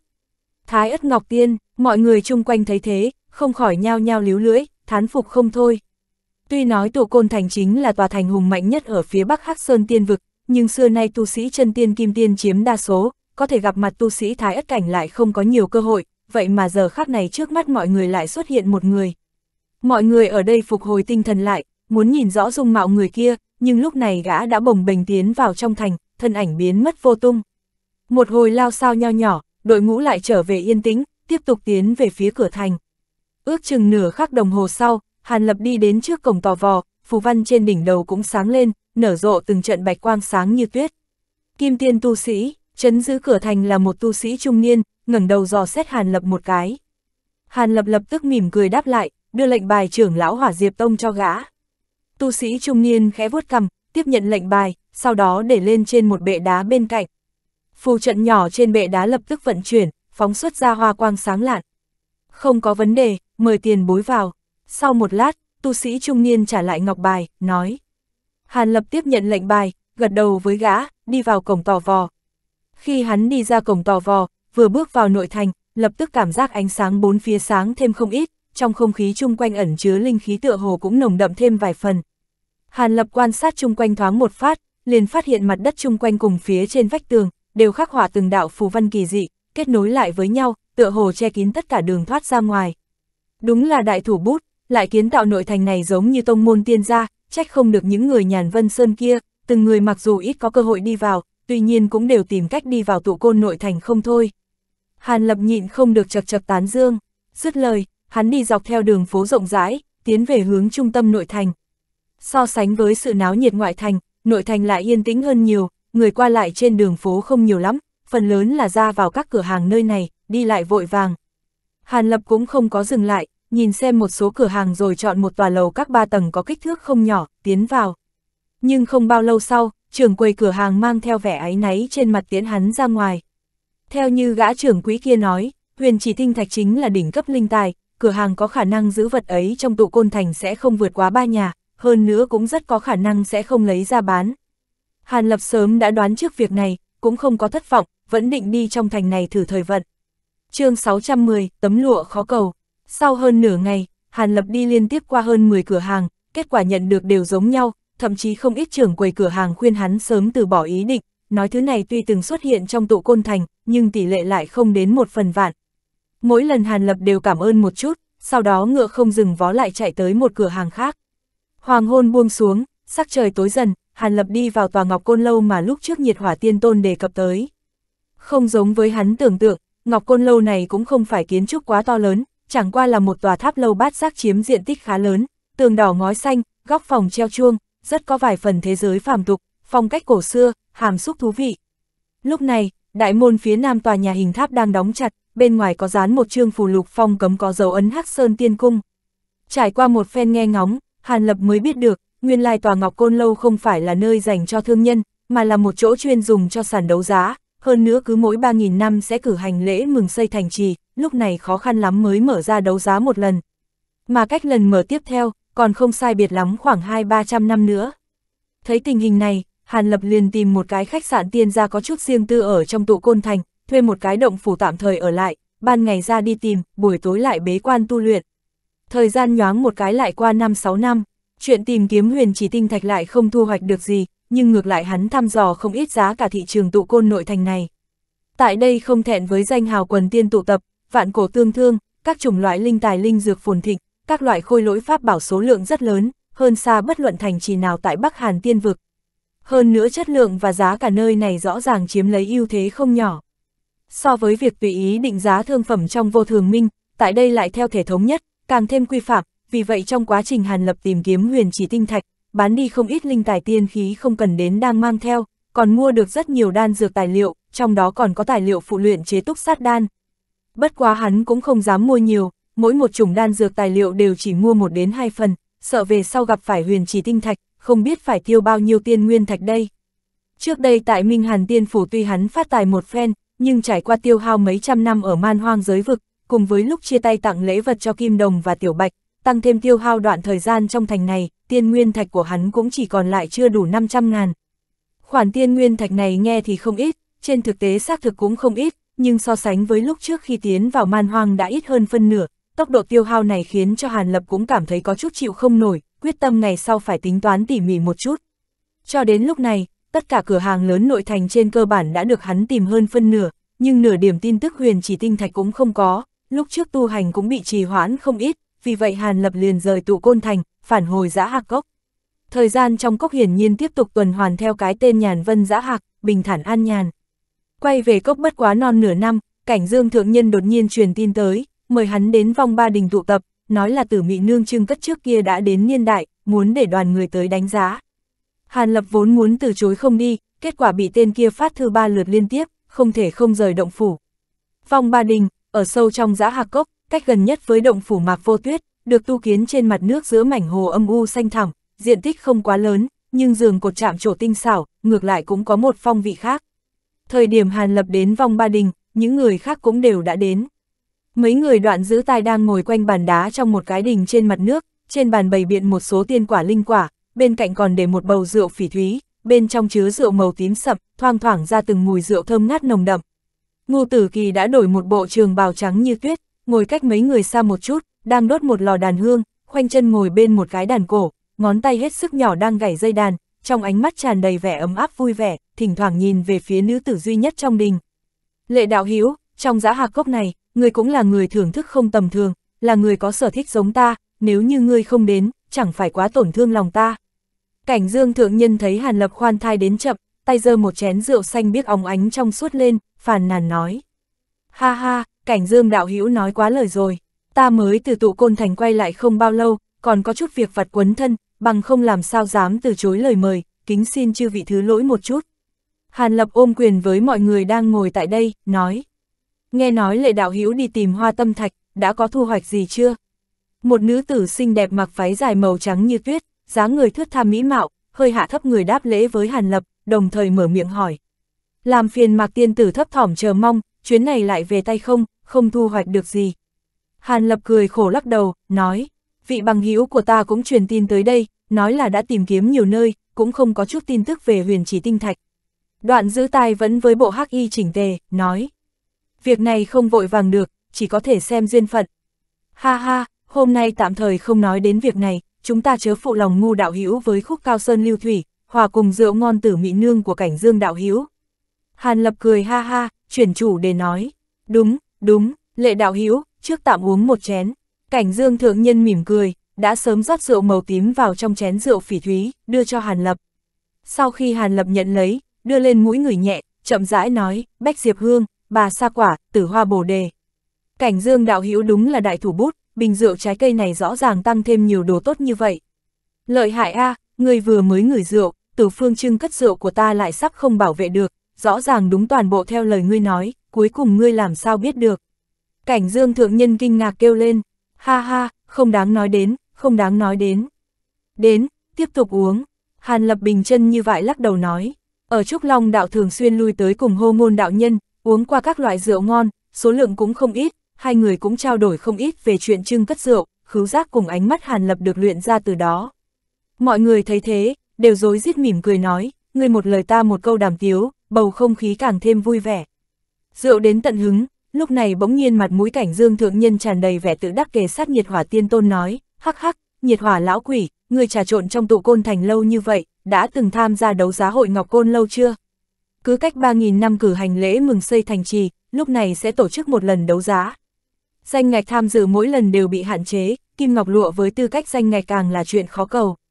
Ta còn nhớ rõ, lần đấu giá trước chưa bao giờ xảy ra chuyện này, trên thị trường bỗng có người chuyên bán tấm lụa này, thậm chí bán giá cao nhất là 600 tiên nguyên thạch, mấu chốt là có tiền mà không mua được.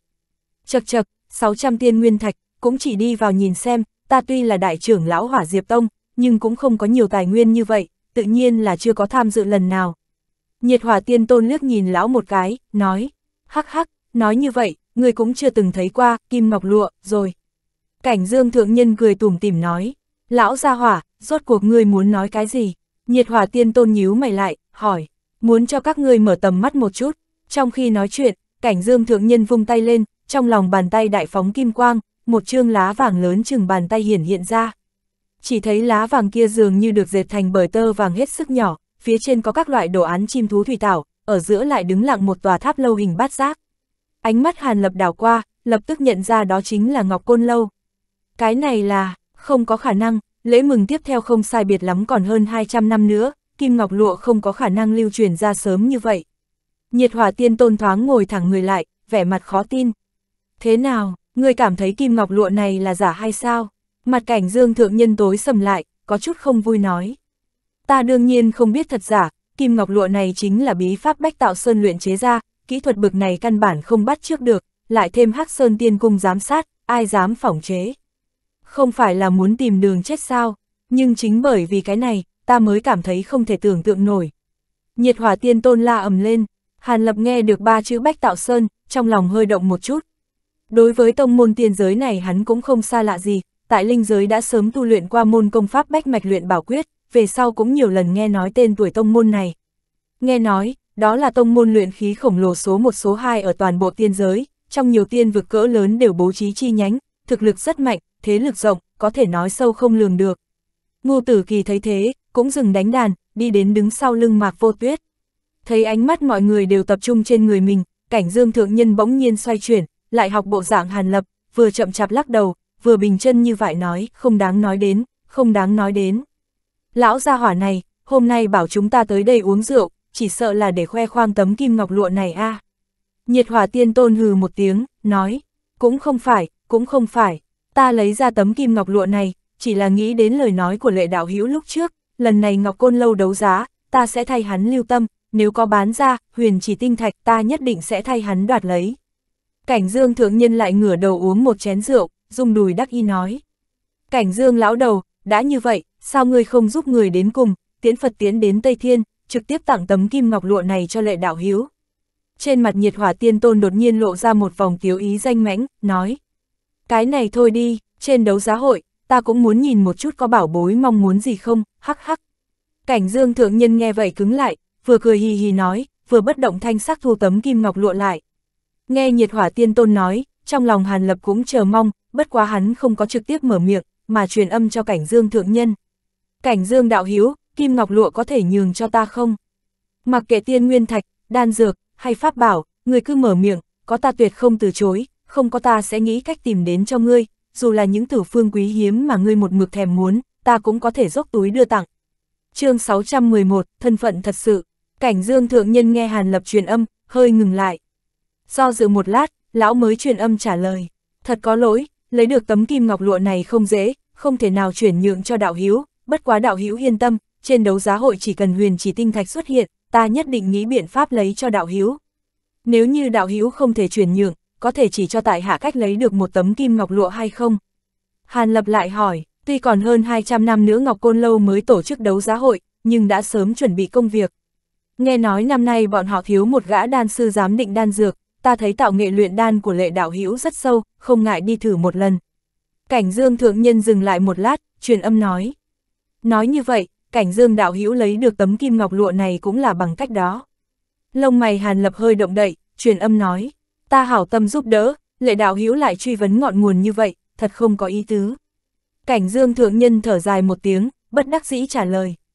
Vậy thì cảm ơn, Hàn Lập thấy mình đoán có lẽ đã chính xác, không hỏi nữa. Đám người nhiệt hỏa tiên tôn không hay biết chuyện này, vẫn ngồi uống rượu với nhau, cười mắng cảnh dương thượng nhân quá mức keo kiệt. Nửa tháng sau, Hàn Lập lại rời khỏi nhàn Vân Sơn. Dựa theo chỉ điểm của cảnh dương thượng, sau khi hắn tiến vào tụ côn nội thành liền đi thẳng đến Ngọc Côn Lâu. Ngọc Côn Lâu vẫn giống như lần trước hắn đến, cửa đóng chặt, phù lục phong cấm. Hàn Lập vượt qua Ngọc Côn Lâu, đi dọc theo con đường vào bên trong, cuối cùng tiến vào một cái ngõ cụt rộng khoảng 6 thước. Cuối con đường nhỏ là một bức tường đá màu xám trắng, hắn giơ tay lên vỗ một trường, trong lòng bàn tay hội tụ linh lực, nhấn một cái vào mặt tường, toàn bộ cơ thể liền bị một cỗ hấp lực vô hình kéo vào, rơi vào bên trong bức tường. Hàn Lập cảm thấy hai mắt tối sầm lại, thân ảnh đã xuất hiện trong một cái sân rộng rãi. Ngay sau đó, một hồi tiếng giáp trụ va chạm len keng truyền đến, mấy tên võ sĩ mặc giáp bạc sáng như tuyết vây quanh hắn vào chính giữa. Ánh mắt Hàn Lập đảo qua những người này, thình lình phát hiện không có khí thức người sống, vậy mà tất cả đều là đạo binh, mà càng làm hắn kinh ngạc hơn là, những thứ áo giáp mà những đạo binh này mặc trên người lại có linh văn trải rộng, thoạt nhìn cũng không phải phàm vật, phía trên có từng trận chấn động cường đại truyền đến. Chỉ sợ thực lực từng tên cũng không dưới tu sĩ đại thừa kỳ, cho dù không chịu nổi một kích của tu sĩ kim tiên, nhưng ai biết được trong người những đạo binh này còn giấu cấm chế đặc biệt gì chứ? Người đến là phương nào, muốn làm chuyện gì? Lúc này, một âm thanh như máy từ trong miệng một tên đạo binh truyền tới. Nghe nói Ngọc Côn Lâu cần một gã đan sư, ta liền tới thử xem. Thân hình Hàn Lập không nhúc nhích, trực tiếp nói thẳng vào vấn đề. Đi theo ta, một gã đạo binh nói xong, xoay người đi về hướng sân nhỏ phía sau một tòa đại điện. Hàn Lập liền đi theo gã, còn lại vài tên đạo binh xếp thành một đội, cũng nhắm mắt theo đuôi. Đi tới cửa đại điện, tất cả đạo binh chia làm hai đội, đứng song song hai bên cửa điện, không động đậy nữa. Ánh mắt Hàn Lập quét khắp nơi một vòng, sau đó tiến lên mấy bước đẩy cửa điện, đi vào. Trong đại điện, đèn đuốc sáng trưng, đối diện cửa điện đặt ba cái ghế dựa lớn, hai bên đều có một vị lão giả y phục đỏ rực, một người đầu đội mão quan, thân hình gầy gò, người còn lại mặt như táo đỏ, thân thể khôi ngô, mà cái ghế chính giữa lại trống rỗng, không có người ngồi. Phục sức trên người hai lão giả giống nhau, trước ngực mỗi người đều thêu một đồ án ngọn lửa, phía trên có hai thanh đan chéo vào nhau, hình dáng mơ hồ như chùy sắt. Người nói là, người tới nhận lời mời làm giám đan sư. Lão giả đội mão quan bên trái mở miệng hỏi, thanh âm có chút khàn khàn. Không sai, Hàn Lập cao giọng đáp, người có biết yêu cầu của chúng ta đối với giám đan sư không? Lão giả khôi ngô bên phải hỏi, Không biết, Hàn Lập lắc đầu nói, chúng ta cần đan sư có thể luyện chế được đan dược từ cấp thái ất trở lên, người luyện được không? Lão giả đội mão quan nói ra, thanh âm vẫn như trước không mang theo một tia chấn động. Nói như vậy, chỉ cần ta luyện chế ra đan dược cấp thái ất, có thể lấy được một tấm kim ngọc lụa. Lông mày Hàn Lập hơi động một chút, hỏi, không sai, nếu ngươi có thể làm được, hiển nhiên có tư cách tham dự đấu giá hội lần này, đồng thời cũng phải thực hiện trách nhiệm giám đan sư. Lão giả khôi ngô gật gật đầu nói, quý địa còn có đan phòng không, ta mượn dùng một chút. Hàn Lập không nói hai lời, hỏi, bên trái điện thờ phụ, lão giả khôi ngô đưa tay chỉ một cái, nói, Hàn Lập đã sớm chuẩn bị việc này, không nói hai lời, quay người đi vào điện phòng bên kia, tiện tay đóng cửa điện lại. Lúc này, một đạo nhân ảnh từ sau điện chậm rãi đi ra, ngồi bệ vệ trên ghế dựa lớn ở giữa, liếc gian điện thờ phụ bên kia, nói, ha, thật cẩn thận, lại còn bố trí cấm chế ngăn cách. a phẩm giai cũng không thấp, phó sơn chủ, người này thật có thể luyện chế đan dược cấp thái ất. Lão giả đội mão quan nghiêng thân mình nhìn người ngồi chủ vị hỏi. Ta làm sao biết được, thử thời vận thôi, thấy kết quả hãng nói. Người kia cười nói, trong nháy mắt, hơn 5 tháng trôi qua, đại môn điện thờ phụ trong đại điện được ẩn giấu vẫn một mực đóng chặt, rốt cuộc mở ra. Sau một lần thất bại, Hàn Lập Dũng sức dùng phần linh tài còn sót lại cuối cùng, rốt cuộc luyện chế ra ba miếng ngọc thanh đan. Linh khí đan này thật sung mãn, phẩm chất tuyệt hảo, trong quá khứ ta thấy qua ngọc thanh đan như vậy cũng chưa đến ba lần. Trong tay lão giả đội mão quan đang cầm một viên đan dược mới hiện ra, tán thưởng nói. Không tệ, không tệ, đạo hữu tạo nghệ luyện đan của ngươi quả thật dày công tôi luyện, thật có tư cách gánh vác chức giám đan sư của chúng ta. Lão giả mặt đỏ như táo, vóc người khôi ngô thì lại bình tĩnh hơn nhiều, trên mặt lộ ra nét tươi cười, mở miệng nói. Nếu như vậy, xin mời chủ sự các ngươi là cảnh dương đạo hiếu, ra ngoài gặp nhau đi. Hàn Lập nhận lại viên ngọc thanh đan từ tay lão giả đội mão quan, đột nhiên chuyển chủ đề, vừa cười vừa nói. Nghe lời này, sắc mặt hai lão giả bận y phục đỏ rực đều cứng đờ, liếc mắt nhìn nhau, trong lúc nhất thời, không ai nói gì. Ha ha, không hổ là lệ đạo hiếu, thoáng cái liền đoán ra thân phận ta. Lúc này, một hồi tiếng cười sang sảng từ sau điện truyền đến, cảnh dương thượng nhân chậm rãi đi ra. Lúc này trên người lão mặc một bộ trường bào màu đỏ, kiểu dáng giống hai người kia như đúc, chỉ khác là trước ngực thêu đồ án ngọn lửa màu vàng mà thôi.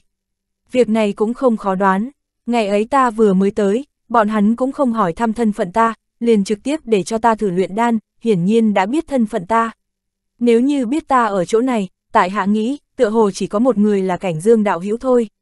Huống hồ, đạo hữu người còn sợ ta đoán ra ngươi là người chủ sự, nên để chống vị trí chủ tọa kia. Hàn Lập vừa cười vừa nói, ha ha, lệ đạo hữu sau này cũng nên học, nhìn thấu cũng không nên nói toạc ra mới tốt nha. Cảnh dương thượng nhân nhìn vị trí chủ tọa trống không, vừa cười vừa nói. Dứt lời, lão vung tay áo phất một cái, hai người lão giả đội mão quan lập tức cáo lui một tiếng, đi vào hậu điện. Khạc khạc, lệ đạo hiếu, thật ra ta định nói trực tiếp với ngươi, nhưng chuyện đấu giá hội là do Hắc Sơn Tiên Cung liên hợp với chi nhánh Bách Tạo Sơn chúng ta tổ chức, vẫn không thể không tuân theo quy củ, ta vốn hiểu rõ kỹ nghệ luyện đan của ngươi, nên để cho ngươi tới lướt qua mà thôi. Cảnh Dương Thượng Nhân ho nhẹ vài tiếng, vừa cười vừa nói.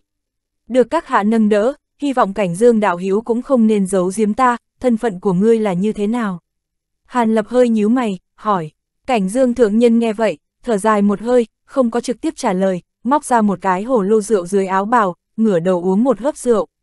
Ta chính là một trong 72 tên phó đạo chủ Bách Tạo Sơn, chịu trách nhiệm trưởng quản chi nhánh Sơn Môn ở Hắc Thổ Tiên Vực. Rượu ngon vào cổ họng, lão mới tiếp tục nói. Hắc Thổ Tiên Vực, vì sao không phải Hắc Sơn Tiên Vực? Hàn Lập hơi nghi hoặc hỏi. Hắc Thổ Tiên Vực, Hắc Sơn Tiên Vực, Phục Trạch Tiên Vực cùng với Nguyên Cảnh Tiên Vực, khoảng cách tương đối gần nhau, và lại nếu không có man hoang giới vực cách trở, được gọi chung là Tứ Minh Tiên Khu. Chi nhánh Bách Tạo Sơn chúng ta thiết lập tại Hắc Thổ Tiên Vực, bao gồm cả Tứ Minh Tiên Khu, bằng không cũng không để một gã phó sơn chủ như ta tỏa chấn nơi này. Cảnh Dương Thượng Nhân cũng không giấu giếm gì, nói thẳng. Đã như vậy, vì sao ngươi lại che giấu thân phận trong giã hạc cốc? Lông mày hàn lập không giãn ra, hỏi. Tính khí ta cùng nhiệt hỏa lão quỷ không khác nhau lắm, đều không thích những việc vặt phiền nhiễu, lúc trước nghe nói Hắc Sơn Tiên Vực có một chỗ hay ho như vậy, liền mộ danh từ xa mà tới. Về sau nửa đường lại kết bạn với Ngô Tử Kỳ, trở thành bạn tốt, liền cùng đi nhàn Vân Sơn, lưu lại bên trong giã hạc cốc. Cảnh Dương Thượng Nhân giải thích nói, mắt thấy Hàn Lập vẫn còn hoài nghi, cảnh Dương Thượng Nhân nhịn không được cười mắng. Người cái tên này không nhìn ra nhân tâm tốt, vốn đại hội đấu giá tụ côn thành lần này không cần ta phải xử lý, căn bản ta cũng không muốn nhúng tay, còn không phải vì ngươi thu thập tin tức hoa tâm thạch mới tham dự vào. Bây giờ không duyên cớ còn bị ngươi hoài nghi, ngươi nói ta có oan hay không? Thật chỉ như vậy, thân sắc hàn lập buông lỏng, cười nhẹ hỏi, hắc hắc, thật ra cũng không hẳn như vậy. Mỗi lần đấu giá hội Ngọc Côn Lâu ta đều tới, chẳng qua lúc trước là tới với thân phận cá nhân, lần này ngược lại có nhúng tay vào việc đấu giá. Cảnh Dương Thượng Nhân cười lúng túng, nói, bất luận thế nào, chuyện này vẫn phải cảm ơn đạo hiếu. Ngươi vẫn muốn phương pháp sản xuất hỏa tiên tử cùng hồng tăng tử, chờ qua một hồi ta sửa sang lại, liền trao một ít tâm đắc trưng cất rượu cho ngươi. Còn trong giã hạc cốc, ngươi yên tâm, lệ mũ không phải người lắm miệng, tuyệt sẽ không nói ra nửa câu. Hàn lập chắp tay với lão, nói, cảnh dương thượng nhân giơ ngón tay cái lên tán dương, lệ đạo hiếu, trưởng nghĩa. Đến đến đến, chúng ta uống một chung đi, hôm nay ta và ngươi, không say không về. chương 612, tin tức nho nhỏ. Bên trong nhàn Vân Sơn, năm tháng dài rằng rặc, thời gian trôi qua nhanh, nhoáng một cái đã qua gần 200 năm. 200 năm, khắp nhàn Vân Sơn như nhàn Vân giã hạc, mỗi ngày vẫn như trước, ngâm thơ vẽ tranh, phong hoa tuyết nguyệt, tốc độ năm như ngày, mỗi người đều hưởng thụ cảm giác vui vẻ an nhàn thời gian thần tiên, đại bộ phận mọi người không để tâm tới việc bế quan tu luyện. Đối với việc trong núi nhiều hơn mấy người, hoặc là ít đi mấy người, mọi người tự nhiên không có quan tâm, dù sao sinh thời, đi tới nhàn vân sơn này, quen biết một trận chính là duyên, đã không quan tâm đi tới, cần gì phải hỏi đến tương lai. Chân tiên giới vẫn là chân tiên giới, nhưng phàm tục đã thay đổi đến mấy đời, trải qua vô số ân oán báo thù, thậm chí còn thay đổi cả triều đại. Bởi vì cái gọi là, tiên giới một ngày, nhân gian ngàn năm. Hàn Lập sau khi giàn xếp ma quang, cũng đã có thân phận mới, cứ qua một đoạn thời gian, sẽ vượt qua vạn dặm vào tụ côn nội thành một chuyến, tìm kiếm huyền chỉ tinh thạch. Dân ra, rất nhiều trưởng quầy thương hội nội thành đã làm mấy lần sinh ý đan dược với hắn, thường xuyên mua bán nên quen mặt, cũng đều biết hỏa diệp tông có một vị ngoại môn trưởng lão một lòng tìm kiếm hoa tâm thạch. Bất quá lần vào thành gần nhất, Hàn Lập phát hiện rất nhiều địa phương trong thành đều được tu sửa, một ít con đường lớn cũng bắt đầu răng đèn kết hoa, trang trí mới hoàn toàn, chuẩn bị lễ mừng long trọng, cứ nghìn năm tổ chức kỷ niệm xây thành tại tụ côn thành, nghênh đón thương khách đến từ bốn phương tám hướng. Đặc biệt là mấy tháng gần đây, từ địa phương khác của Hắc Sơn Tiên Vực, thậm chí từ mấy tiên vực phụ cận, từng chiếc đò ngang dày đặc vượt qua khoảng cách rộng lớn bay vào trong thành, các bến cảng trong thành càng trở nên bận rộn hơn. Trước cửa các cửa hàng nội thành, từ lâu đã phủ lên đủ loại quảng cáo, phía trên dùng kim phấn viết những chữ thu hút thương khách như hàng thật giá thật, tiên phàm không lừa, cũng có một chút thương nhân không theo quy cũ, viết theo các cách khác mua một tặng một, tặng chiết khấu, 3.000 năm đợi một hồi. So sánh với ngày trước, dòng người trong tụ côn thành càng thêm dày đặc, các thương hội trong thành mở tiên ra khách sạn đã cung không đủ cầu, sớm bị thương nhân và tu sĩ từ nơi khác đến ở Trần Ních, rất nhiều tông môn nội thành cũng nhao nhao cho bên ngoài thuê biệt uyển cùng phòng trọ ở tạm thời, kiếm lấy một phần thu nhập tiền cho thuê. Ngay Phủ Vân Sơn mạch cách xa ngoài thành như vậy, ngày thường yên lặng cũng bị phá vỡ, rất nhiều tu sĩ ở ẩn trong núi cũng đều dục dịch, định thừa dịp lễ mừng vào tụ côn thành một chuyến, tìm kiếm một ít đồ vật lọt vào mắt xanh. Lẽ ra bọn họ ở đây lâu dài như vậy, đối với buổi lễ long trọng tại tụ côn thành không nên nhiệt tình mãnh liệt như thế, nhưng trên thực tế, bọn họ lại giống với những tu sĩ đến từ phương xa, đều nóng bỏng mong đợi ngày tổ chức lễ mừng đến. Bởi vì, trong 7 ngày tổ chức lễ tại tụ côn thành, giới hạn nội thành và ngoài thành bị phá vỡ, đến lúc đó bốn cánh cửa nội thành mở rộng, không có bất kỳ hạn chế nào, cho phép bất luận kẻ nào tiến vào nội thành. Hơn nữa, lúc nội thành mở ra, trong nội thành sẽ có mấy trăm đấu giá hội với quy mô không đồng nhất dưới sự chủ trì của các thế lực, trong đó làm cho người chú ý nhất chính là hành cung phía Bắc do Hắc Sơn Tiên Cung thiết lập, liên hợp cùng chi nhánh Bách Tạo Sơn tổ chức đấu giá hội cỡ lớn tại Ngọc Côn Lâu. Sở dĩ đấu giá hội này có thể làm cho hầu như một nửa Hắc Sơn Tiên vực chú ý, không chỉ vì nó có bối cảnh cường đại, mà vì hầu như mỗi một lần đấu giá hội, đều có mấy kiện bảo vật đỉnh cấp xuất hiện mà Thái Ất Ngọc Tiên cũng phải thèm muốn. Mỗi khi có bảo vật như vậy xuất hiện, đều dẫn tới quần hùng thế lực khắp nơi tranh chấp, dựa vào thực lực nội tình đánh nhau sống chết một phen, mặc kệ cuối cùng hoa rơi vào nhà nào, đều truyền thành một giai thoại. Bảy ngày trước khi lễ mừng được tổ chức, Hàn Lập cũng đã đi theo cảnh dương thượng nhân vào chú Ngọc Côn Lâu. Trong lầu thiết lập cung điện dưới mặt đất, bên trong bố trí các loại pháp trận và cơ quan tinh xảo, lại có thêm ba gã trưởng lão kim tiên trưởng lão Trấn giữ một tấc không rời, vật phẩm bán đấu giá từ Hắc Sơn Tiên Vực, thậm chí từ các nơi khác đem đến cũng được cất trữ ở đây. Hàn Lập và hai gã giám đan sư khác, cùng theo cảnh dương thượng nhân tiến hành phân biệt các loại đan dược cùng linh dược bảo vật, xác nhận không có vấn đề liền đưa vào danh sách, ghi vào trong danh sách đấu giá. Thẳng đến trạng vạng tối trước ngày tổ chức lễ mừng, hết thảy vật phẩm bán đấu giá dùng để chống đỡ Ngọc Côn Lâu, mới được tạo danh sách đưa vào kho. Cảnh dương thượng nhân vốn sinh hoạt thanh nhàn thành thói quen không muốn bị quấy nhiễu, khó khăn lắm mới rủ bỏ hết việc vặt phía sau, thừa dịp đêm trăng đi tới biệt huyền đã an bài cho Hàn Lập. Vừa đến ngoài cửa phòng, còn không đợi gã lên tiếng, Hàn Lập đã đưa tay mở cửa phòng, mời gã vào phòng. Thế nào, mọi chuyện tự thân vận động cảm giác không tệ chứ? Hạc hạc, Hàn Lập mời cảnh dương thượng nhân ngồi xuống, sau đó rót một ly trà xanh, cười trêu chọc nói. Thật sự lâu rồi không có tham gia vào những sự vụ quy tắc như thế này, thật có chút không quen. Tiểu tử ngươi đừng có diễu cợt ta, cảnh dương thượng nhân khoát tay áo, cười khổ nói. Dứt lời, gã có chút chịu không nổi liếc qua chén trà Hàn Lập đang cầm trên tay, mở miệng hỏi, vậy hỏa tiên tử có còn hay không? Tử phương không phải là đã cho ngươi rồi hả? Như thế nào còn muốn quản rượu ta? Hàn Lập cười khẽ một tiếng, hỏi, đừng nhỏ mọn như vậy chứ, rượu của ngươi không phải là càng đủ niên đại sao? Ta cất rượu kia vẫn chưa tới 150 năm, tư vị còn kém xa. Hơn nữa, ta cũng không uống chùa rượu của ngươi, có chút tin tức nho nhỏ tiết lộ cho ngươi. Cảnh dương thượng nhân giảm thấp giọng nói vài phần, thần thần bí bí nói. Hàn Lập nghe vậy, bất đắc dĩ cười một tiếng, bàn tay vung lên, một vò rượu màu xám thấm liền xuất hiện trên bàn. Đây là một vò cuối cùng mà ta cất giấu kỹ, năm tuổi còn cao hơn so với lần trước lấy ra, tin tức nho nhỏ của ngươi cũng không thể có lỗi với rượu của ta đấy. Hàn Lập phất tay mở nút bình, nói, nương theo đó là mùi rượu thuần khiết tràn đầy cả gian phòng ốc, sâu rượu trong bụng cảnh dương thượng nhân như móc câu, không thể chờ đợi được dùng chén trà nhỏ rót đầy một ly, uống một hơi cạn sạch. Rượu ngon vào cổ họng, gã ngửa đầu chật chật chật, thưởng thức dư vị giữa răng môi, thần tình say mê. Hàn Lập một bên thấy vậy muốn bật cười, nhưng cũng không thúc giục gã. Quả nhiên là hảo tử, cảnh dương thượng nhân giơ ngón tay cái lên, tán thán nói. Vừa dứt lời, gà liền nắm vào rượu lên định rót tiếp, kết quả bị Hàn Lập ngăn lại. Còn không chịu nói tin tức, Hàn Lập hỏi, hắc hắc, không để ta uống thêm hai ly nữa rồi nói. Cảnh dương thượng nhân gượng cười hai tiếng, nói ra, nói mau, Hàn Lập không để ý đến gã, nói thẳng, được rồi, nói cho người biết, người muốn huyền chỉ tinh thạch liền rơi xuống, cuối cùng trong một đống hàng xế chiều hôm nay, vừa vặn có vật ấy. Cảnh dương thượng nhân thu tay lại, rung đùi đắc y nói. Chuyện này là thật, Hàn Lập lập tức vui vẻ, truy vấn.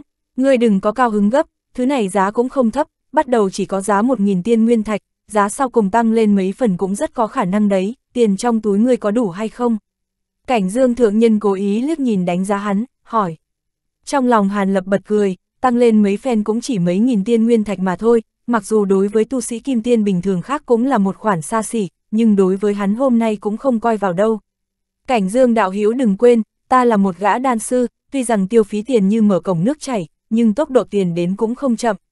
Ta đã mưu đồ việc này lâu như vậy, tự nhiên là đã chuẩn bị. Hàn Lập vừa cười vừa nói, cảnh dương thượng nhân thấy bộ dạng Hàn Lập như vậy, trong đầu nghĩ Hàn Lập vừa mới đến, không hiểu được buổi đấu giá này rất hung hiểm, không cẩn thận một chút sẽ chết trong xấu hổ vì ví tiền rỗng tuếch, nghèo rất mồng tơi. Đến lúc đó nếu tiên nguyên thạch không đủ, trước tiên có thể đưa chút ít đan dược cho bách tạo sơn chúng ta, ta nhất định cho ngươi cái giá vừa ý, về sau nếu muốn chuộc lại, cũng có thể mua lại với giá gốc. Thế nào, thỏa thuận chứ? Gã không trực tiếp dội nước lã lên Hàn Lập, mà nói như thế. Hàn Lập giao chọn bình hỏa tiên tử cho cảnh dương thượng nhân, gọn gàng nói. Thành giao, sáng sớm ngày thứ hai, một tiếng chuông vang vọng cả tòa tụ côn thành. Bốn cửa thành đông nam tây bắc phong cấm nội thành đã lâu mở ra toàn bộ, hết thảy tu sĩ chấn giữ kiểm tra tại đây đều rút lui toàn bộ, tu sĩ tuần thành phân bố trên tường thành lại gia tăng lên gấp mấy lần. Phù văn cấm chế trên cửa thành biến mất hào quang, các lộ tu sĩ sớm đã đợi chờ ở bên ngoài cửa thành nhao nhao không chờ đợi được xuyên qua cổng tò vò, tràn vào trong nội thành. Đường phố nội thành ngày trước thanh tĩnh lập tức trở nên náo động, đám người lộn xộn đi dọc theo con đường phân tán ra các phía nội thành, có người đi bán pháp bảo tiên khí ở cửa hàng, có người trực tiếp đi đến đấu giá hội. Toàn bộ nội thành, vậy mà trở nên náo nhiệt hơn so với ngoại thành. Đến ban đêm, đèn tụ côn nội thành thắp sáng lên rực rỡ, khắp nơi đốt sáng đèn lồng đỏ, hết thảy mọi nơi một mảnh không minh, trên tường thành còn có từng trận khói lửa bốc lên trợ hứng, bầu không khí náo nhiệt không giảm chút nào. Cứ liên tiếp như vậy qua 6 ngày, đấu giá hội Ngọc Côn Lâu khiến người trong thành chú mục nhất, rốt cuộc mở màn. Hàn Lập và Cảnh Dương Thượng Nhân với tư cách người của đơn vị tổ chức, tự nhiên tiến nhập đấu giá hội Ngọc Côn Lâu trước một bước. Vào bên trong, hắn mới phát hiện từ bên ngoài nhìn vào chỉ thấy Ngọc Côn Lâu là một tòa nhà hình tháp, nhưng không gian bên trong lại rất rộng lớn. Chỉ thấy ở giữa lầu xây dựng một tòa bệ đá hình tròn diện tích hơi rộng, rõ ràng là nơi trưng bày vật đấu giá, bốn phía thì phân bố từng phòng khách quý nhỏ liên tiếp, làm thành một vòng chỉnh tề. Phía sau lầu một là lầu 2, lầu 3 vây quanh một vòng, thoạt nhìn có chừng mấy trăm cái. Trong từng phòng khách quý đặt một cái bàn cùng một cái bổ đoàn, trên góc bàn bên phải đốt một lò đàn hương, ở giữa đặt một ít tiên sơ linh quả cùng một bình rượu ngon. Hàn Lập cùng cảnh dương thượng nhân chọn một gian phòng khách quý lầu 2, dẫn đầu đi vào. Trong phòng có một cung trang nữ tử trẻ tuổi, lập tức đặt thêm cho hai người một cái bổ đoàn, rót rượu ngon cho bọn hắn. Trong lúc vô tình Hàn Lập ghé mắt nhìn qua, mới kinh ngạc phát hiện cung Nga nữ tử này vậy mà không phải người thật, chẳng qua là một cỗ khôi lỗi, bởi vì khí tức thấp kém, vẻn vẹn tương đương với tu sĩ kết đan kỳ, ngược lại không làm người ta chú ý tới. Cảnh Dương đạo hiếu, người thật sự không đi chủ trì đại hội. Hàn Lập thu hồi ánh mắt, hỏi, chương 613, phàm vật giá tiên, tiểu tử nhà ngươi, những việc vừa rồi còn chưa đủ để ta bận rộn hay sao? Hiện tại ta chỉ muốn im lặng làm tu sĩ tham gia, gặp được vật trong lòng liền chụp lấy là tốt rồi. Cảnh Dương thượng nhân bưng chén rượu lên lắc lắc, tự nhiên nói ra. Nếu như đấu giá hội lần này là do Bách Tạo Sơn các ngươi tổ chức, người hà tất vẽ vời đấu giá cho thêm chuyện, trực tiếp tự mình qua cầu đoạt lấy là được rồi. Nếu không được, để tông môn đi mua cũng được mà.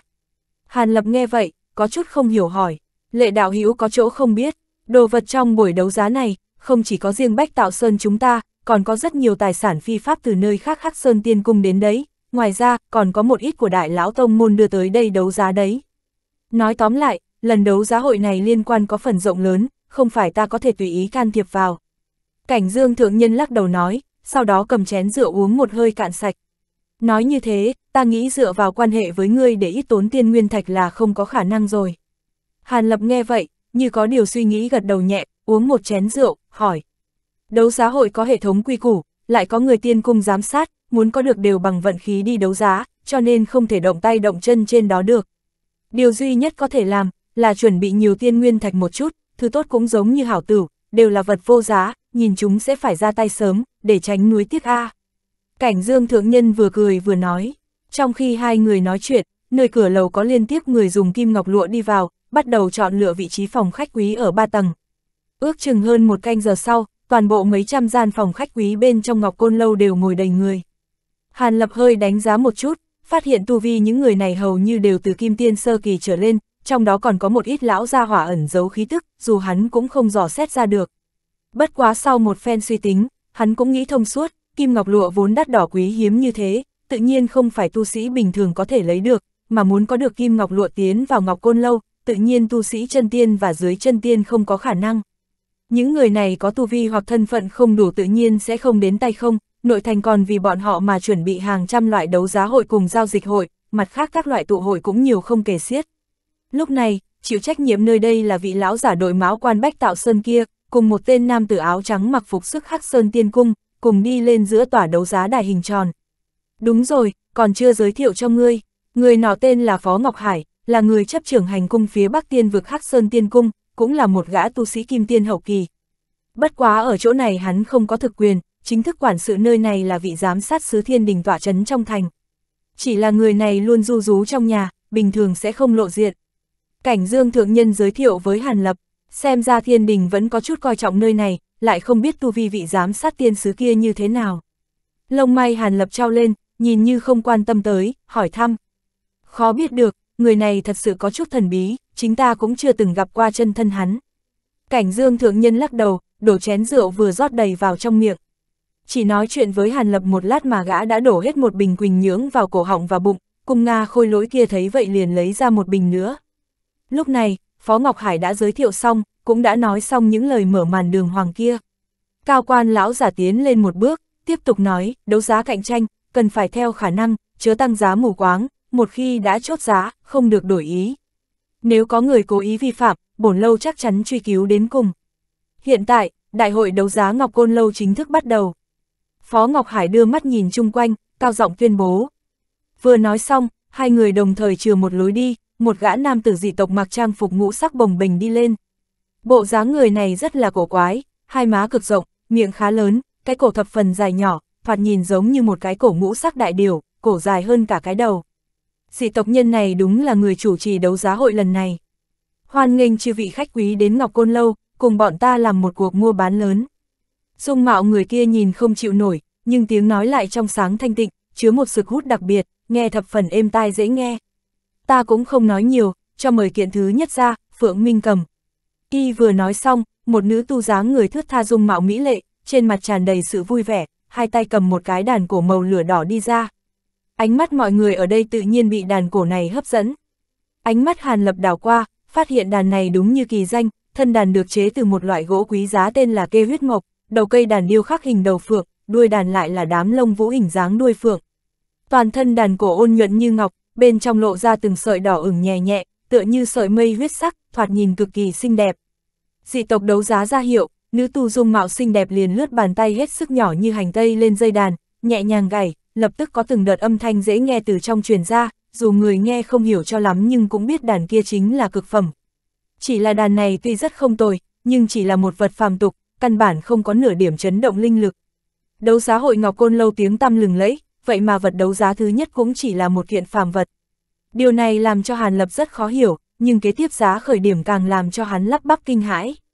Tin tưởng chư vị đều nghe qua tên tuổi, thiên chỉ huyền âm, bùi khinh linh. Phượng Minh cầm này chính là một kiện nhạc khí chân quý nhất của nàng trước khi tu hành. Đến khi nàng chính thức bước vào tu hành, mới dần dần không dùng nữa, sau nhiều năm truyền lưu mới lưu lạc đến tận đây. Giá khởi điểm 50 tiên nguyên thạch, mỗi lần tăng giá không được thấp hơn 5 miếng tiên nguyên thạch. Đấu giá quan mở miệng nói chậm rãi, giải thích nguồn gốc khung đàn cổ này. 50 tiên nguyên thạch, ta muốn. Đấu giá quan vừa dứt lời, lập tức có một thanh âm nữ tử mềm mại đáng yêu từ một gian phòng khách quý lầu ba truyền ra. Theo sát phía sau, có người ra giá, ta ra giá 60 tiên nguyên thạch. 70 tiên nguyên thạch, lại có người đáp, 75, bùi khinh linh này rốt cuộc là người phương nào, chỉ là một kiện phàm vật nàng dùng qua cũng có thể cầm đến nơi này đấu giá. Rõ ràng giá khởi điểm lại cao như vậy, Hàn Lập có chút khó hiểu hỏi, chỉ là một kiện phàm vật, lại không phải tiên gia pháp bảo gì, coi như là tiên gia pháp bảo, phẩm chất không đạt tới trình độ nhất định, bất luận là người nào đã dùng qua, cũng không trả hơn 10 tiên nguyên thạch mới đúng. Đúng ra, không phải vấn đề tiên nguyên thạch, mà là hơn 10 linh thạch cũng không đáng. Hơn 10 tiên nguyên thạch cũng không phải là số lượng nhỏ, đều có thể mua được đan dược tăng tiến tu vi kim tiên cảnh, hoặc mua linh tài tiên khí. Không thể tưởng được lệ đạo hữu lại chưa nghe qua tên tuổi thiên chỉ huyện âm. Nàng bùi khinh linh này xuất xứ từ một thế gia âm luật ở kim nguyên tiên vực, từ nhỏ đã có thiên phú tu hành cực cao, nhưng vẫn say mê âm luật, không chịu tu hành. Mãi đến ngày sinh nhật 16 tuổi, nàng tấu qua một khúc, nghe hoàng phá trận khúc, sau đó đột nhiên tuyên bố bắt đầu tu hành, từ đó về sau tu vi tiến triển cực nhanh, lấy ngu âm nhập đạo tu luyện đến đại la cảnh. Cảnh dương thượng nhân có chút kinh ngạc, tiếp theo chậm rãi nói ra. Thì ra là thế, Hàn Lập như có điều suy nghĩ nói, cũng đừng cảm thấy không đáng, loại vật này một khi có cơ hội trả lại chủ nhân ban đầu của nó, kết xuống một phần thiên đại cơ duyên. Vạn nhất nàng bùi khinh linh kia trở thành ngũ âm đạo tổ, giá trị thứ này có thể tăng vọt gấp không chỉ trăm lần. Cảnh dương thượng nhân như xem thấu ý nghĩ hàn lập, vừa cười vừa nói. Đích xác là như vậy. Sau khi nghe xong lời ấy, hàn lập cũng không khỏi không gật đầu đồng ý. Hắc hắc, nghe nói bùi khinh linh là một cô gái tuyệt sắc ít nữ tu có thể so sánh được, người xem những nam tu kia tranh đoạt kịch liệt như thế, trong lòng chưa hẳn không có những ý tưởng kiều diễm A. Đương nhiên, chỉ là si nhân nằm mơ mà thôi. Cảnh dương thượng nhân uống một chén rượu, truyền âm cho Hàn Lập. Hàn Lập nghe vậy, im lặng gật đầu nhẹ, một bộ dạng đồng ý. Cuối cùng, khung đàn cổ này bị một gã đội khăn chít đầu, khuôn mặt đoan chính, thoạt nhìn là một trung niên nam tử với một thân phong độ của người trí thức, lấy 120 tiên nguyên thạch mua được. Chúc mừng vị đạo hữu này đã lấy được phượng vĩ cầm. Kế tiếp mời ra kiện bảo vật thứ hai của chúng ta, tử dương đan. Đấu giá quan đọc một tiếng, sau đó nữ tu lúc trước đem cây đàn cổ xuống, lại một nữ tu khác bưng một cái khay màu tím lên, bên trong trên là một hộp ngọc màu trắng, đi tới. Vật này chính là đan dược tịnh tiến kim tiên đến thái ất, đều có ích lợi với tu sĩ hai đại cảnh giới này. Một lò tổng cộng 13 khối, phẩm cấp hoàn mỹ, tính chất cực yêu, hy vọng chư vị đạo hữu chớ bỏ qua. Giá khởi điểm 100 tiên nguyên thạch, đấu giá quan vừa nói, vừa mở hộp ngọc màu trắng ra. Nắp hộp vừa mở, 13 miếng đan dược tinh xảo to cỡ ngón út lập tức hiển lộ ra, phía trên chớp lên ánh sáng tím, mơ hồ có sương mù bốc lên, lập tức mùi thuốc lượn lờ tràn ngập ngọc côn lâu. Viên thuốc này đúng là một trong những linh dược Hàn Lập kiểm tra qua, phẩm chất đúng là rất tốt, ngọc côn lâu ra giá 100 tiên nguyên thạch, ngược lại là không đòi hỏi quá mức, coi như là một cái giá khá thấp. 110 tiên nguyên thạch, rất nhanh đã có người báo giá. 120 tiên nguyên thạch, ngay sau đó có người tăng giá theo, 130 tiên nguyên thạch, một vòng tiếp theo một vòng tăng giá, tử dương đan rất nhanh đã được ra giá 160 tiên nguyên thạch. Đến giá này, xem như là phù hợp, tăng thêm cũng có chút không đáng, cho nên khi một gã tu sĩ mặc mặc trường bào màu đen báo giá xong, cũng không có người tiếp tục tăng giá nữa. Đấu giá quan hỏi thăm qua ba lượt, liền giao vật ấy cho người áo đen kia. Kiện vật phẩm bán đấu giá thứ ba chính là một kiện hậu hiên tiên khí phẩm cấp cực cao, là một lệnh bài lôi hỏa cực kỳ uy lực, tu sĩ kim tiên hậu kỳ sử dụng rất thích hợp, giá khởi điểm là 130 tiên nguyên thạch, cuối cùng thành giao với giá hơn 200 tiên nguyên thạch.